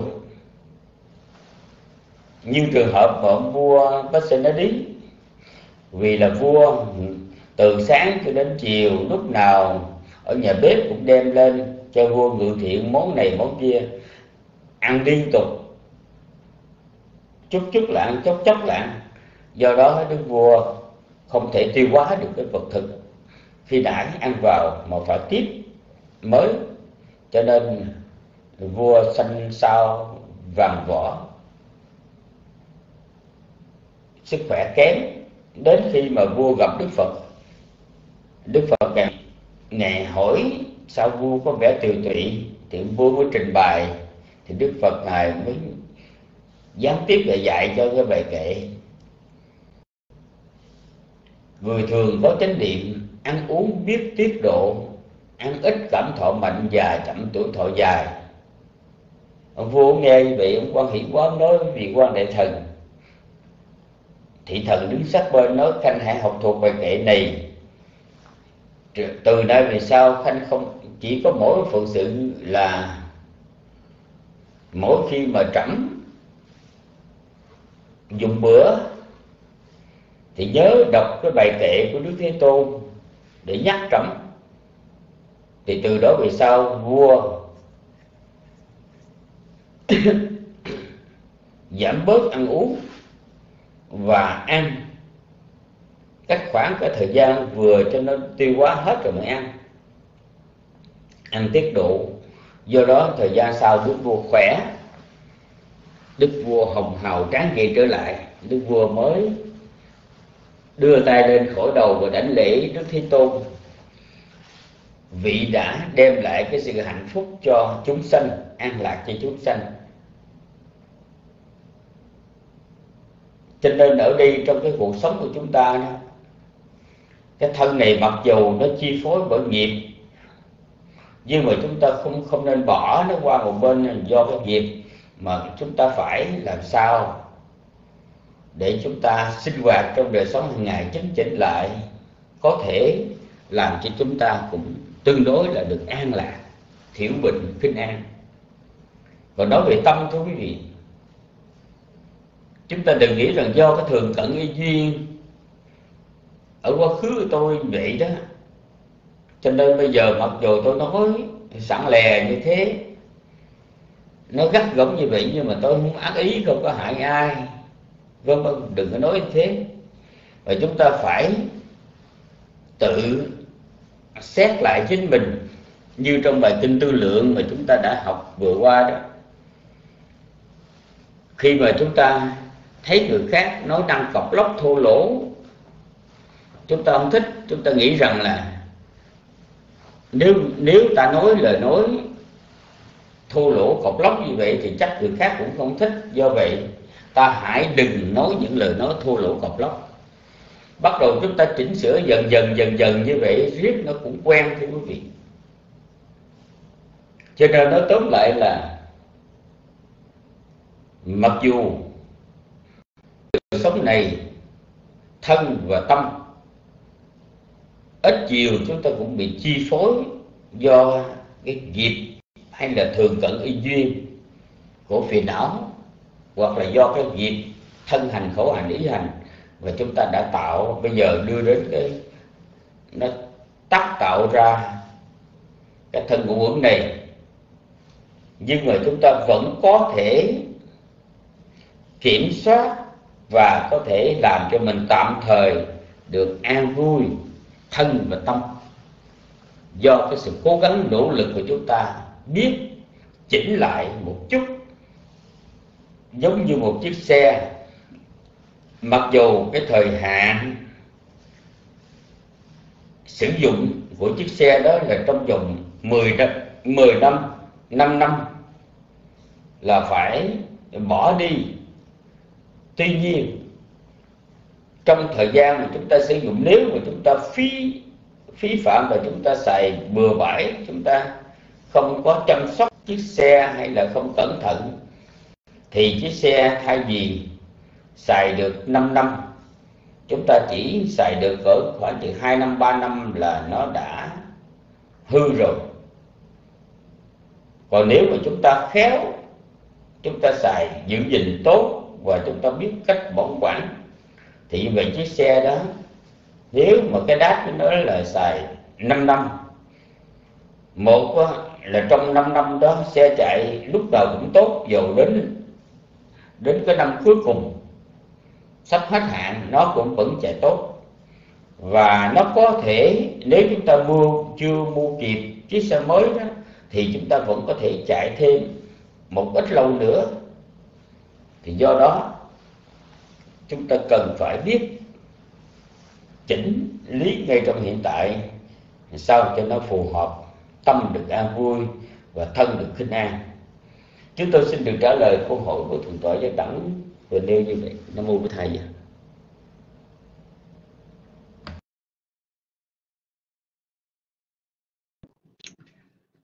bạch thư tổ từ xưa thánh thư tổ có nghĩ trả lời thêm một câu nữa rồi rồi tọa đi nghỉ. À, chúng ta thấy rằng các tôn giáo kể cả một số uh, lớn uh, tông phái của đạo Phật à, và phần đông người đời thì nói rằng chúng ta có một thứ linh hồn. Và linh hồn nó đa năng làm tất cả mọi việc vì gì cũng làm được hết. Nhưng mà trong trong Phật pháp uh, trong tâm tạng Bali và đặc biệt là thắng pháp thì nói rằng có nhiều thứ tâm. Và mỗi thứ tâm là một việc khác nhau. Và ví dụ uh, hôm nay chúng ta học về tâm cơ năng thì nó không là xử ý. À, ví dụ như là chúng ta hồi nãy đừng nói là tâm uh, ứng cúng sanh tiếu không có uh, làm việc cơ năng được mà chỉ là việc xử lý thôi. Thì cái chuyện mà phân chia mỗi tâm có một chức năng riêng á và nó có nhiều loại tâm làm nhiều phần hành khác nhau đó. Nó có ý nghĩa gì ờ, đặc biệt so với cái mà chúng ta gọi là có một linh hồn có thể làm tất cả mọi việc không? À, tại vì nói một có linh hồn làm tất cả mọi việc thì nó dễ hiểu hơn và không cần phải băn khoăn nhiều. Trong lúc đó thì uh, tại sao chúng ta uh, khi mà chúng ta nghe nói rằng có nhiều thứ tâm mỗi tâm làm phần hành khác nhau nhất là mình mình gọi là trẻ sự tốc làm tư bây giờ còn hơn sự tốc đầu tư nữa. Tức là bây giờ mình thấy rằng trong một cái diễn trình tâm á, thì uh, có những tâm làm việc cơ năng có những tâm việc xử lý vân vân. Xin thỉnh ý kiến của từ đầu từ sư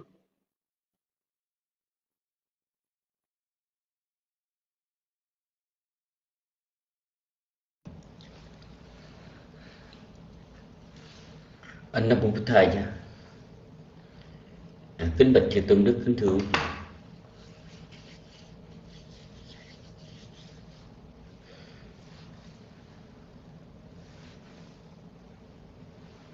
ở trong Phật pháp á,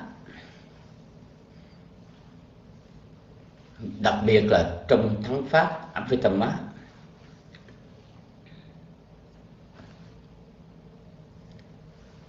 phân tích có nhiều thứ tâm và mỗi thứ có chức năng riêng. Thì cái điều này nó sẽ có tác dụng khác với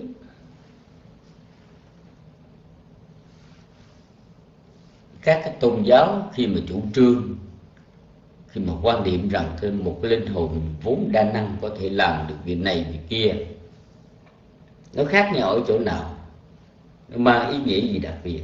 Thì ở đây chúng vị, một điều mà chúng ta rất là dễ hiểu là nếu như đối với một diễn trình tâm thức và cho rằng đó là một cái linh hồn đơn thuần. Thì như vậy sẽ chắc vào cái gọi là tao qua Upadana. Tức là chấp vào cái, cái ngã luận ngã luận thủ. Chấp có cái tà cái bản ngã. Mà chấp ta đó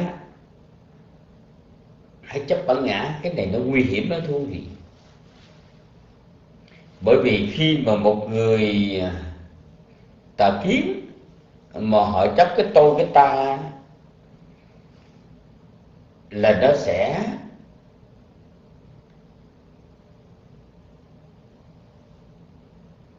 tạo ra những cái điều sai trái.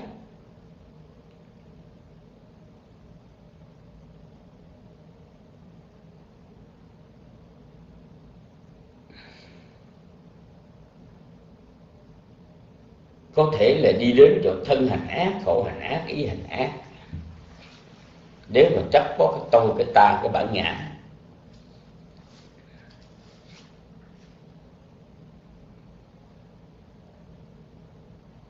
Thì cái chấp linh hồn đó, thì đó là chấp cái tôi, cái ta. Cái quan niệm linh hồn là chấp cái tôi, cái ta.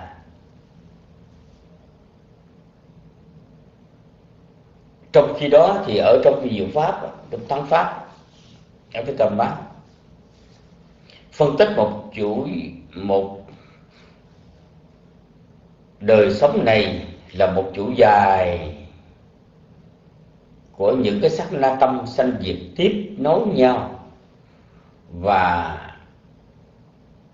phân đoạn ra mà nói thì cứ một diễn trình tâm hoạt thức khởi lên, thì trong đó có cái thứ tâm này, thứ tâm khác.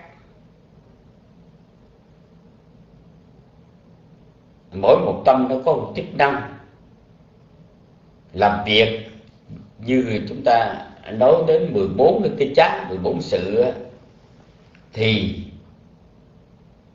người học Phật phải biết rằng các pháp là vô ngã.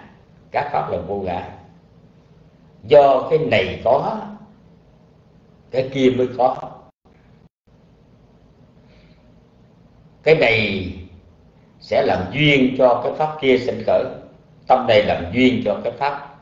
Cái sắc na trước làm duyên cho cái sắc na sau sinh khởi bằng cách là vô gián duyên. Rồi vô gián duyên nó tiếp cứ tiếp nối suốt.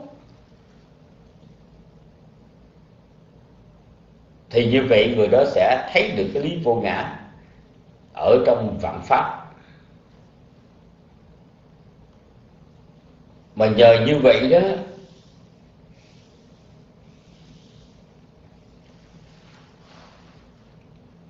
người này sẽ nhàm chán, được dễ dàng, mới đưa đến cái sự giải thoát như Đức Phật ngài dạy rằng người mà dùng tuệ quán, thấy rõ các hành là vô thường, các hành là khổ, các pháp là ngã sẽ yểm ly sự khổ. Đó là con đường đến thanh tịnh. Sape sakkara anicca ti sape sakkara dukkha ti sape thamma natati yada panya vipassati athanipindati dukkhe samakku sutthiya thì như vậy khi mà chúng ta học về diễn trình tâm thức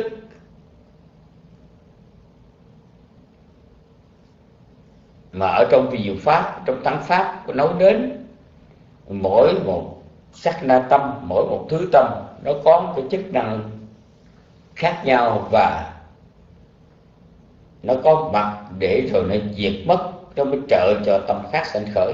Thì như vậy để cho chúng ta thấy, nhận thức được các pháp là vô ngã cái điều đó là một điều khác biệt giữa Phật giáo với giáo lý A Tỳ Đàm với các tôn giáo khác, chủ trương về linh hồn. Chúng tôi xin được chia sẻ với quý vị và câu hỏi số 2 như vậy. Nam mô bổn thầy nhé.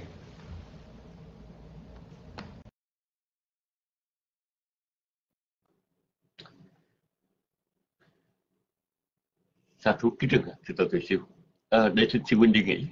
Hôm nay sư huynh giảng rồi và thêm hai cô tu à, ờ, phân cô lại sẽ để với chị tăng sẽ à, sẽ hoàn tất cái buổi học ngày hôm nay. À, thưa quý phật tử à, đối với à, à, môn học thắng phá Abhidhamma này chứ thì à, nhiều khi à, chúng ta mới học thoáng qua thì chúng ta nghe nói có giống, giống như là à, học cho có học nhưng mà ở trên thực tế thì chúng ta đang đào sâu vào một vào một cái, vào những cái lĩnh vực rất là căn bản của giáo lý Phật pháp. Ví dụ như vậy, điều mà thượng tọa Từ siêu vừa nói khi nãy đó là cái quan niệm về linh hồn mới nghe thì rất là hay. Nhưng mà nếu linh hồn mà nếu chúng ta đặt ra câu hỏi là linh hồn tốt hay xấu, thì linh hồn là phải tốt rồi người ta nói uh, sống là thể phát tắc xác là tinh anh thì uh, linh hồn mình đâu thể gọi là xấu được. Thì như vậy một người xấu thì linh hồn có xấu hay không? Ví dụ ta nói giảm bán linh hồn cho quỷ chẳng hạn thì nó linh hồn chắc chắn phải là cái phần tốt nhất của con người. Dạ. Thì dạ, một người xấu là linh hồn họ xấu hay hay tốt? Mình phải hỏi như vậy. Và bây giờ hỏi rằng có một linh hồn bất biến chỉ bất biến thì không thay đổi. Nếu linh hồn là bất biến là không thay đổi đó thì cái linh hồn đó nó có thể xấu hơn hay là tốt hơn không? Nếu mà linh hồn đó xấu hơn thì linh hồn phải thay đổi. Mà linh hồn đó không thể không thay đổi tức là mình không cần tu. Tại mình tu tức cũng vậy mà không tu tức cũng vậy. À, ở đây là đây là vấn đề tại sao mà à, khi mà chúng ta học vào trong thắng pháp thì chúng ta thấy rằng chúng ta không nói đến một linh hồn trường cửu mà chúng ta nói đến à, một cái dòng tâm thức mà sanh diệt à, tiếp nối bởi nhiều sắc na. Và trong tâm nó nó có nhiều thứ tâm. Có những thứ tâm thiện có những thứ tâm bất thiện. Có những thứ tâm à, vô ký tức là không thiện không bất thiện. Có những à, tâm thuộc về nghiệp. Có những tâm tạo nghiệp có những tâm à, là quả. Có những tâm phi nghiệp phi quả những thứ đó chúng ta rất là quan trọng và do vậy tại sao chúng ta đào sâu vào cái nói về cái tâm mà gọi là tâm những cái tâm làm việc máy móc thì tâm các tâm chức năng à, các, các tâm cơ năng mà chúng ta làm việc ngày hôm nay thì thưa quý vị à, à, chúng tôi cũng xin được uh, uh, nói thêm vài điểm ở tại đây uh, liên quan đến những điều mà thượng tọa Tuệ Siêu vừa trình bày. Uh, như quý vị biết, chúng tôi đều uh, gọi là được đào tạo chung một lò ra và chúng tôi học thắng pháp Abhidhamma từ hòa thượng tịnh sự và sư trưởng. Và có một người nữa thầy dạy chúng tôi ban đầu đó là cô Bảy Minh Phúc vì cô mất rồi. Thưa quý vị uh, uh, điều có điều đó có nghĩa rằng chúng tôi sự tôi chia chia với nhau rất là nhiều ờ, điều về uh, dạy nhưng mà Chư sự tội siêu là một người uh, rất là uh, nặng về phản ngữ. Bản thân của chúng tôi là một giáo sư phản ngữ. Điều đó chúng tôi hoàn toàn tán thán chứ chúng tôi không có vấn đề gì hết. Ờ, tuy nhiên về giảng dạy đó thì chúng tôi phải nói rằng ừ, đối với cái nhìn của chúng tôi thì đa số quý phật tử không có giỏi về phản ngữ và nếu chúng tôi dùng những từ tiếng phạm nhiều quá đó đôi khi nó là một cái trở ngại cho quý vị. À, chúng tôi biết chúng tôi rất biết thường gọi trời siêu. À, và chúng tôi thừa nhận rằng à, mình học gì học thì mình phải lấy lấy cái chữ lấy cái, cái, cái căn bản tiếng phạn làm chuẩn.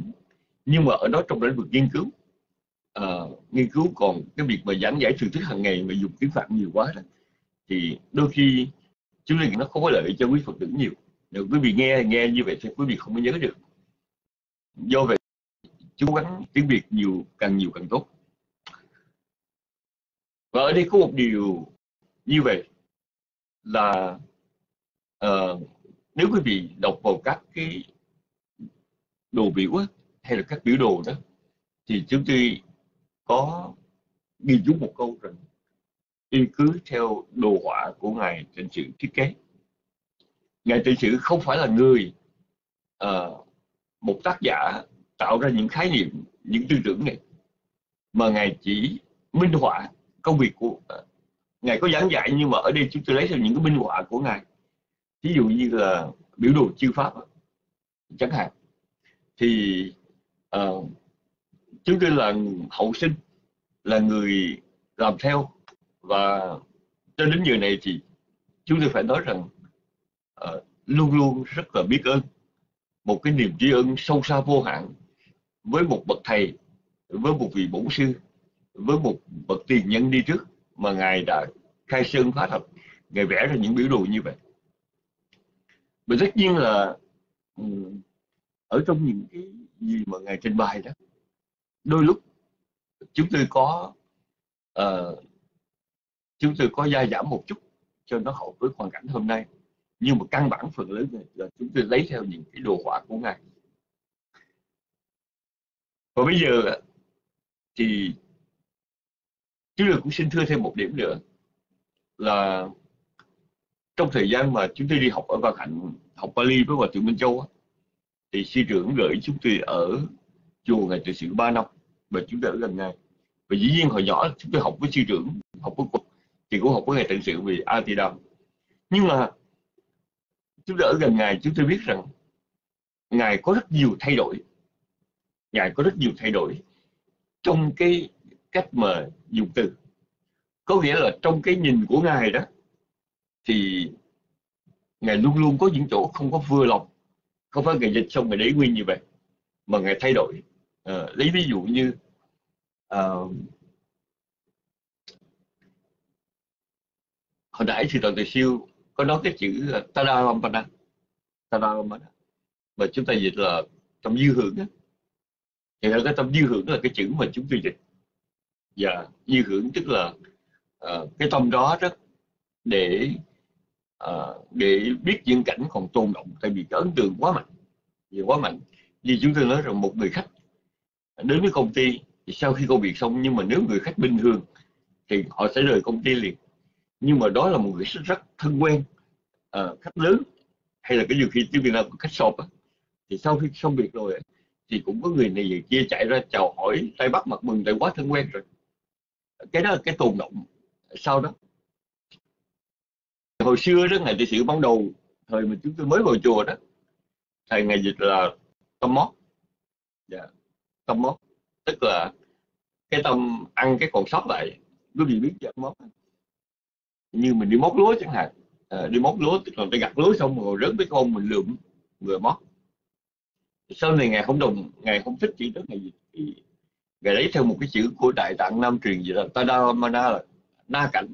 Na cảnh là cảnh đó và trong chữ án. Na cảnh nghĩa là cảnh đó. Tức là cũng cảnh cùng với tâm xử lý. Và cùng cảnh với tâm xử lý nhưng mà nó không phải là tâm xử lý. À cũng như là một người chào đón một người khách rất thân quen thì cũng người khách đó nhưng mà người đã chào đón niềm nở nhưng mà không phải không phải xử lý. Thì ra về sau này người dịch là na cảnh. Và hòa thượng minh châu cũng dịch một chữ gọi là đồng sở duyên tâm. À, đồng sở duyên.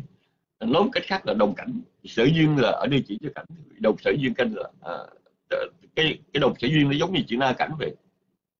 Nhưng mà chúng tôi thấy những cái chữ như tâm mót á, thì nghe nó nghe nó hơi dân gian hơi thông tục quá. Dạ. À, và chữ na cảnh thì nghe xa lạ quá. Đồng sở duyên thì nghe chữ hán quá. Thật ra chúng tôi dịch tâm dư hưởng yeah, dạ, tâm dư hưởng tức là cái tâm hướng cảnh tôn động lại. Yeah, cái tâm ấn tượng quá mạnh là tâm dư hưởng. Thì chúng tôi nghĩ là nghe nó dễ hiểu hơn. Mà dĩ nhiên là ý chúng tôi muốn nói rất là bản thân của ngài tinh sự ngài cũng thay đổi nhiều chứ không ít. Ví dụ như hồi chúng tôi mới vào chùa thì cái cháu phải nói ngày gì là tâm thực. Tâm thực tức là tâm hưởng cảnh cháu phải nói mà chúng tôi là tâm xử lý đó. về sau này thì hòa thượng ờ, bên châu gì là tâm tốc được tâm còn ngài tài sự ngày gì là tâm động tốc chỉ tóc là nhân mà động tức là xử lý. Động lý văn phòng mà quý vị nghe là động lý văn phòng. Yeah. À, thì nhưng mà cái chữ hai chữ ghép là chữ động tốc thì chúng tôi không nghĩ rằng quý vị ở ngoài đời mà nghe chữ đó đâu. Rất là xa lạ. Thành ra thay vì dùng cái tâm động tóc chúng tôi dùng cái tâm, chúng tôi gọi tâm xử lý thì chúng tôi nghĩ rằng ừ, quý vị nghe quý vị hiểu liền. Tại vì trong cái cách nói, thưa quý vị, người ta nói như vậy, khi mà mình nói chuyện, mình nên nhớ rằng những người đang nghe đó, họ không có thì giờ ra từ điển. Dĩ nhiên quý vị nói, quý vị đang học ở trong lớp thì quý vị thỉnh thoảng có ra từ điển. Nhưng mà đâu phải thường toàn từ siêu hay là chư tăng mà nói chữ nào quý vị tra được chữ đó có nhiều chữ nghe rất là lạ. Ra vì vậy đó chúng tôi phải tìm những cái chữ nào mà quý vị nghe quý vị có thể hiểu liền thế ít nhất là có cái chuyện gần gũi. Dạ gần gũi. Ờ, à, ví dụ như vậy là ừ, cái tâm mà chúng ta ừ, thì chưa gọi là tâm tố. Dạ tâm tố. Mà tâm tố vô nhân. À cái tâm cười giả hái là tâm vô nhân và cái tâm cười vị a hán tâm vô nhân nghe rất kỳ. Tại cái chữ vô nhân ở đây tức là ở trong tiếng Việt Nam chúng ta nói là phi nhân hay là vô nhân hay là bất nhân thì thật ra nghe dễ hiểu lòng lắm. Thành chúng tôi không dùng cái chữ vô nhân. Mà chúng tôi nói rằng có có sáu cái căn là căn tham, căn sân, căn si, căn vô tham, vô sân, vô si. Thành ra chúng tôi gọi là là vô căn và từ đó nó cái đó nó có thể trùng với cái chữ mà ờ, vô căn nghĩa là không có nam căn, không nữ căn, là cái người người vô căn nhưng mà chúng tôi nghĩ cái chữ đó cũng ít có người hiểu hiểu lầm như vậy. Hơn là cái chữ vô nhân tại chúng tôi chọn cái tâm gọi tâm vô căn. Bây giờ tâm tố đó, thì ngày trị sự ngày dịch là tâm tố để ngày thế thì chỉ duy tác duy tác là chỉ làm chứ không có kết quả. Nhưng mà gọi là tâm tố vô nhân ở đây thì chúng tôi phải thưa rằng một một vị mà mới nghe nghe nó lùng bục lỗ tai lắm. Chúng tôi không chúng tôi không có dùng chữ như vậy. Mà chúng tôi muốn dùng cái chữ đó là cái tâm phi nghiệp phi quả. Tức là những cái tâm này không có uh, không có không phải là tâm quả nhưng mà cũng không phải là tâm tạo quả. Và yeah. cái cái chữ đúng như cái giá là vậy đó. Cái giá nghĩa là ờ, không phải là tâm quả tức là do nghiệp quá khứ sản sinh ra. Không sản sinh bởi tâm quá khứ mà tâm này cũng không có tạo cái quả để lại uh, cho mai hậu. Thành ra cái tâm này gọi là tâm phi nghiệp phi quả. Uh, chúng tôi muốn giải phi nghiệp phi quả là tại vì chúng tôi hy vọng rằng quý phật tử nghe cái chữ cái tâm phi nghiệp phi quả quý vị tuy nó dài nhưng dễ hiểu hơn tâm tốt giờ quý vị nghe nó tâm tốt nghe đó nghe nó lạ lắm. Dạ dĩ nhiên là mỗi một thời một giai đoạn khác. Nhưng mà chưa vì giảng sư đó thì như quý vị biết là từ từ siêu thì chúng tôi thích cái văn của hòa thượng minh châu.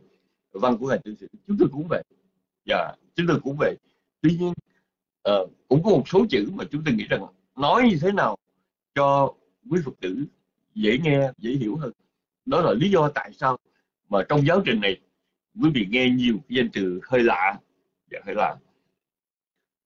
Uh, trong phần ngữ và nghĩa thì chúng tôi cũng phải xin nói thêm là uh, sẽ có một số cái từ vựng mà quý vị học ở đây quý vị không tìm thấy ở trong bất cứ một cái giáo trình Atidam nào khác. Trước đây thí dụ chữ hoạt thức hồi xưa à, các vị chỉ gì là tâm quan ở tâm khách quan. Tâm chủ quan thuộc về tâm hộ kiếp hay là tiềm thức. Và tâm khách quan thì chỉ cho tất cả những tâm không phải tiềm thức. Nhưng mà ở trong tiếng việt một cái chữ chủ quan khách quan nó có ý nghĩa khác thưa quý vị. Dạ. Ví dụ như là trong tâm xử lý có khi xử lý một cách chủ quan có khi xử lý một cách khách quan. Và chữ chủ quan khách quan thì nói cái chính xác trong á là cái tâm mà biết cảnh theo thực tướng rồi theo kinh đế là tâm biết cảnh khách quan. Mà tâm biết theo cảnh chế định có khi là tâm chủ quan khi tâm khách quan. Mà do vì chúng tôi không có uh, uh, chúng tôi không có dùng cái chữ chủ quan khách quan ở đây mà chúng tôi dùng cái chữ tiềm thức và hoạt thức tiềm thức là cái gì? Tiềm tàng. Ở trong đời sống của chúng ta tiềm tàng tức là có tâm thức nhưng mà chúng ta không nhận rõ thì nó quá giống nhau. Và nó biết cái cảnh thì nó bụi lượng nhưng mà hoạt thức ấy, là cái gì mà nó nó ngược lại với tiềm thức. Cũng giống như người ta nói hoạt phật. Hoạt phật là gì? À, việt nam hay gì là phật sống. Nhưng mà có nghĩa là à, chư phật của lịch sử chư phật không còn nữa. Bây giờ có việc này hiện diện người ta gọi hoạt phật. Thì ở đây chúng tôi nói chữ hoạt thức ở đây chỉ cho cái gì? Chỉ cho một cái một cái sự uh, kích hoạt của tâm thức do có cảnh hiện vào. Và cái tâm kích hoạt đó nó là một cái sự hoạt thức. Thì uh, thưa gì trong khi mà chúng ta học về thắng pháp ờ, tại sao chúng ta phải học chậm đây là kinh nghiệm của cá nhân chúng tôi. Là chúng ta hay thờ ơ với một số những cái uh, những cái uh, những cái khái niệm mà mình nghĩ nó không quan trọng. Và yeah, nó còn mình không thích thú. Ví dụ như là hồi nãy thì tôi từ siêu uh, nói về một điểm mà có lẽ thì tôi nói một cái quá chuyên môn và quý vị nghe quý vị cũng không có gì quan trọng. Đó là về hai thứ là ý giới và ý thức giới thì chúng ta nghe nói là quẩn xứ giới đế năm quẩn 12 xứ 18 giới bốn đế. Ở trong 18 giới đó thì chúng ta phải thưa rằng à, như chúng ta nói rằng nhãn sắc thân nhãn gì chỉ, chỉ thân à, ý. Sắc thân khí vị xuất phát nhãn thức giới chỉ thức giới à, ý thức giới thì thức giới thân thức giới ý thức giới. Chúng tôi đố quý vị phật tử mà những người chỉ học trong kinh đạo mà phân biệt được thế nào là ý giới và thế nào là ý thức giới. Không có một vị nào mà học về học về uh, về về Phật học mà không học thắng pháp mà hiểu sự khác biệt giữa ý giới và ý thức giới. Chúng tôi bảo đảm quý vị mặc dù ở trong kinh tạng nói nhiều về 18 giới. Dạ. mặc dù ở trong kinh tạng nói 18 giới là một cái nhìn rất là căn bản và uh, trong Phật giáo Tây Tạng Phật giáo Đại thừa đều nói tới 18 giới. Nhưng mà chúng tôi chưa nghe một vị nào mà phân biệt rõ sự khác biệt giữa ý giới và ý thức giới. Đây đây là điều chưa rồi tại sao chúng tôi phải học vào, vào ở trong những tâm về cơ năng đó, thì thưa quý vị, tâm kháng ý một, tâm khai môn và tâm tiếp tu nó thuộc về ý giới. Và những tâm như tâm xử lý thuộc về ý thức giới đó là lý do mà tại sao chúng ta phải học chậm. Bởi vì sao vậy?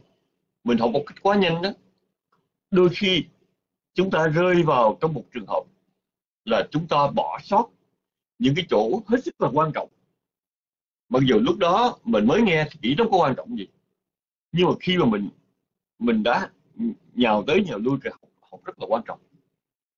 Thì mỗi một cái bài học đi vào bài học đó thì chúng ta đều là phải phải rất là là cẩn trọng hết chúng tôi nhớ uh, có một lần có một vị sư. Sư rất là giỏi máy móc. Sư qua chùa chúng tôi ở. Và sư giúp sửa một cái máy ở trong chùa. Ờ, chúng tôi không nhớ cái máy máy gì mà quý phật tử nhà bếp họ họ xài thường nó bị hư.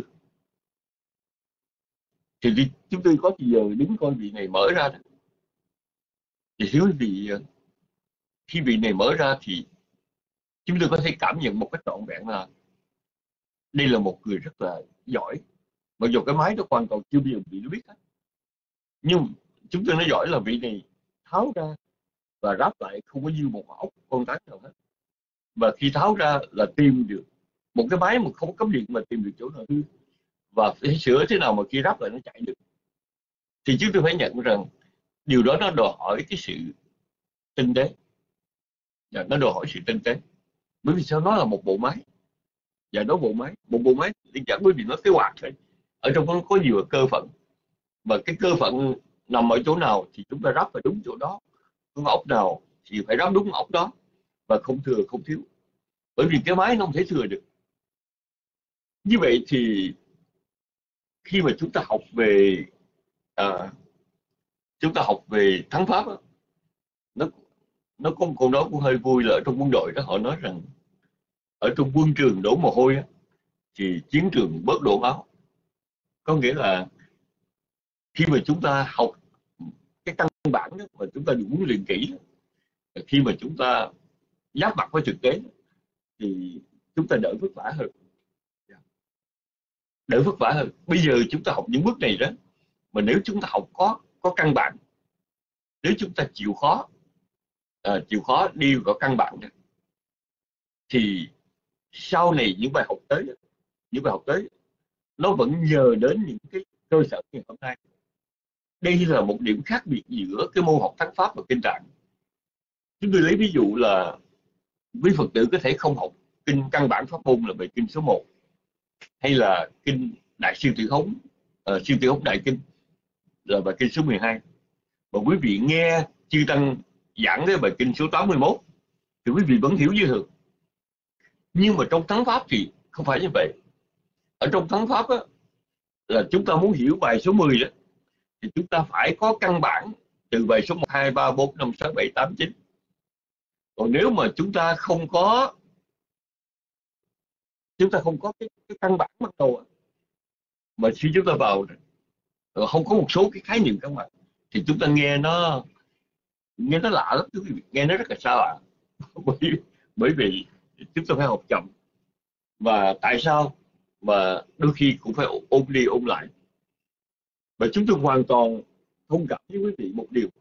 Và chính vì chúng tôi thông cảm điều này đó và chúng tôi cũng phải chúng tôi phải chấp nhận là uh, là là bị thiên tọa tự siêu. Nó bị không phải là bị không nhưng mà thượng tọa đôi khi thượng tọa giống như thượng tọa nói nhiều cái cái chuyện mới cái cái, cái từ mới quá. Nhưng mà bởi vì chúng tôi muốn quý vị làm quen giống như mình ăn, ăn kèm vậy làm quen. Chỉ nếu một chúng tôi รู้ là với quý phật tử là từ tội từ siêu và chúng tôi đó học thắng phó a phi thâm từ hồi còn nhỏ. Lúc đó chúng tôi giống như tỳ lệ trắng vậy đó. Vào học là học thôi. Giờ quý vị qua vị chờ chúng tôi một chút. Hello. Hello dạ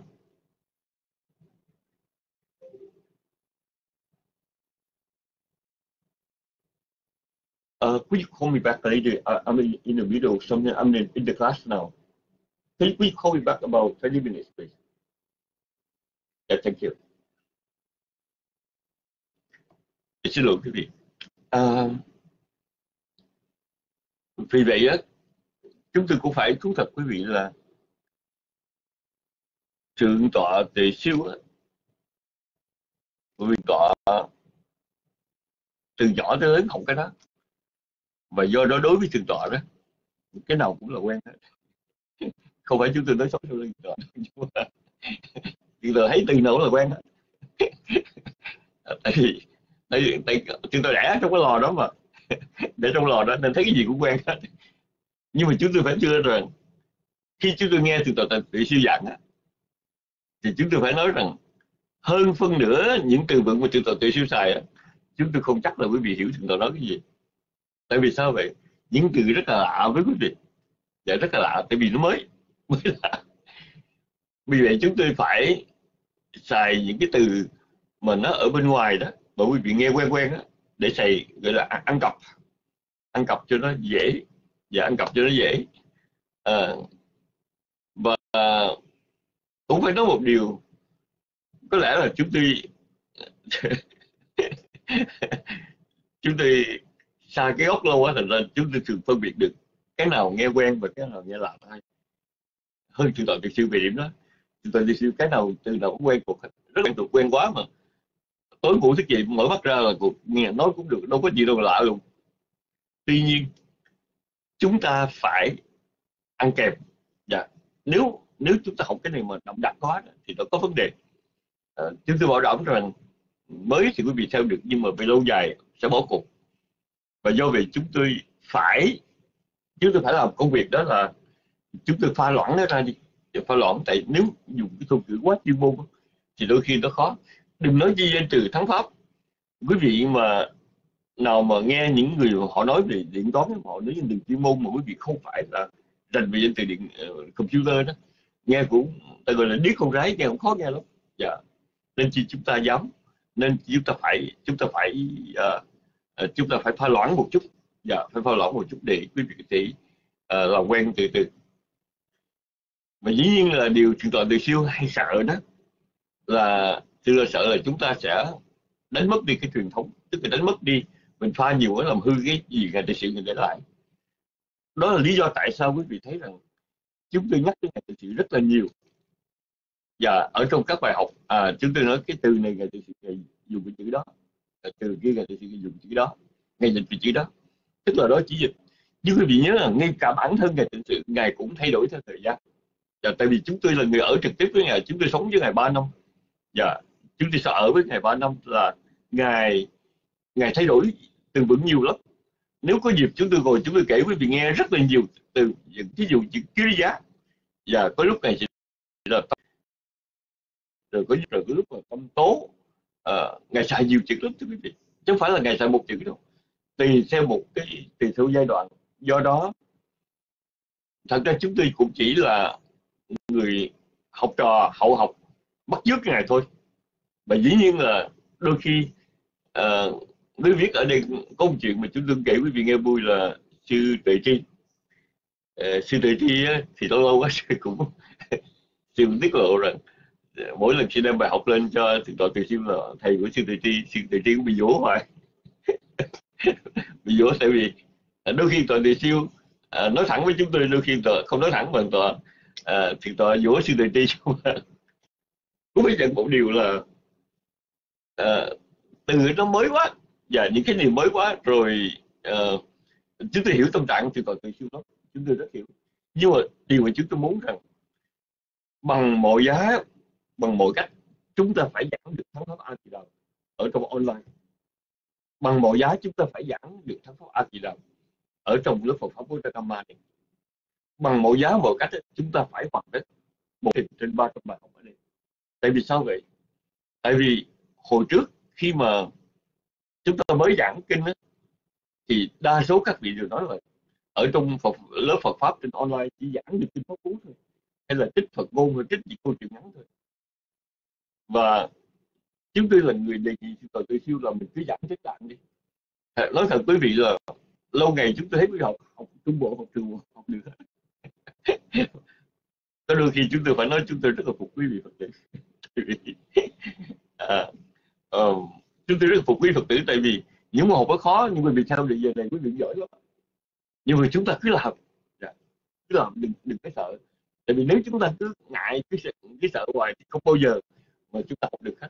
Dạ. Cho nên có bắt đầu làm cái cái kinh nghiệm cụ thể chúng tôi rằng ngày xưa ngày hòa thượng hộ giác á, ngày không muốn đụng đến computer đó ngày không muốn đụng computer.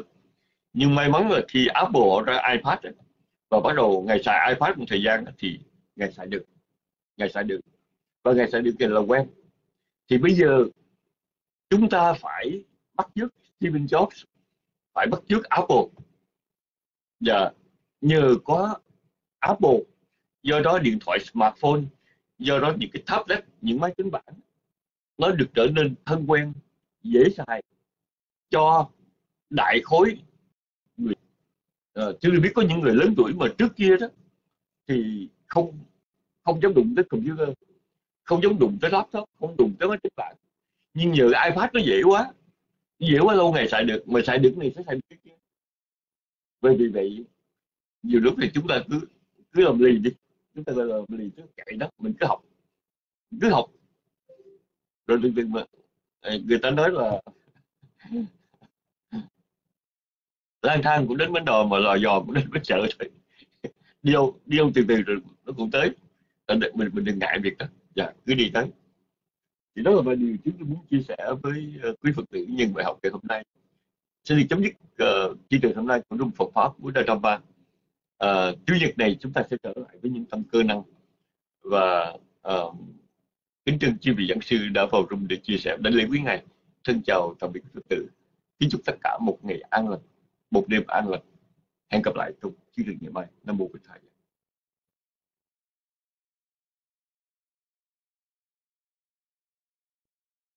Sa thủ sa thủ lành thai con xin thay mặt đại chúng trong rừng thành kính đảnh lễ tri ân thiên to giác đẳng rất là nhiều. Đã dám làm gì mà mà sửa ra từ để làm lì để nghe tươi siêu. Dạ à, quở, nhưng mà cũng còn rất là tri ân sư dạ nam mô bích thà dạ. Sa thú sa thú lành thai. Con nhật huỳnh, xin thay mặt đại chúng trong đông chúng con kính tri ân chư tôn đức đã mở lòng bi mẫn, giảng dạy phật pháp hữu ích cho chúng con. Đã hướng dẫn, dìu dắt chúng con tiến bước trên hành trình tu tập. Hầu mong đem lại an lạc trong đời sống và hướng đến đạo quả giải thoát luân hồi. Kính cảm ơn đại chúng đã lắng tâm thanh tịnh thính pháp kính cảm ơn quý chủ nhiệm ấp sứ ngôn viên để yểm trợ cho các phần hành trong lớp học được hoàn tất nghĩa mạng chúng con kính chúc chư tôn đức thân tâm thường lạc, phật sự viên thành. Kính chúc quý đạo hữu luôn an lạc các tường trong chánh pháp nhiệm màu của đức từ phụ thích ca mâu ni. Để kết thúc chương trình, xin chúng ta nhất tâm hồi hướng. Nguyện công đức đã làm, kết duyên lành giải thoát. Nguyện hồi hướng chư thiên, hàng thiện thần hộ pháp nguyện các bậc hữu ân, đồng thừa tư công đức. Nguyện chánh pháp trường tồn, chúng sanh cầu giải thoát. Nam mô tha giá dạ.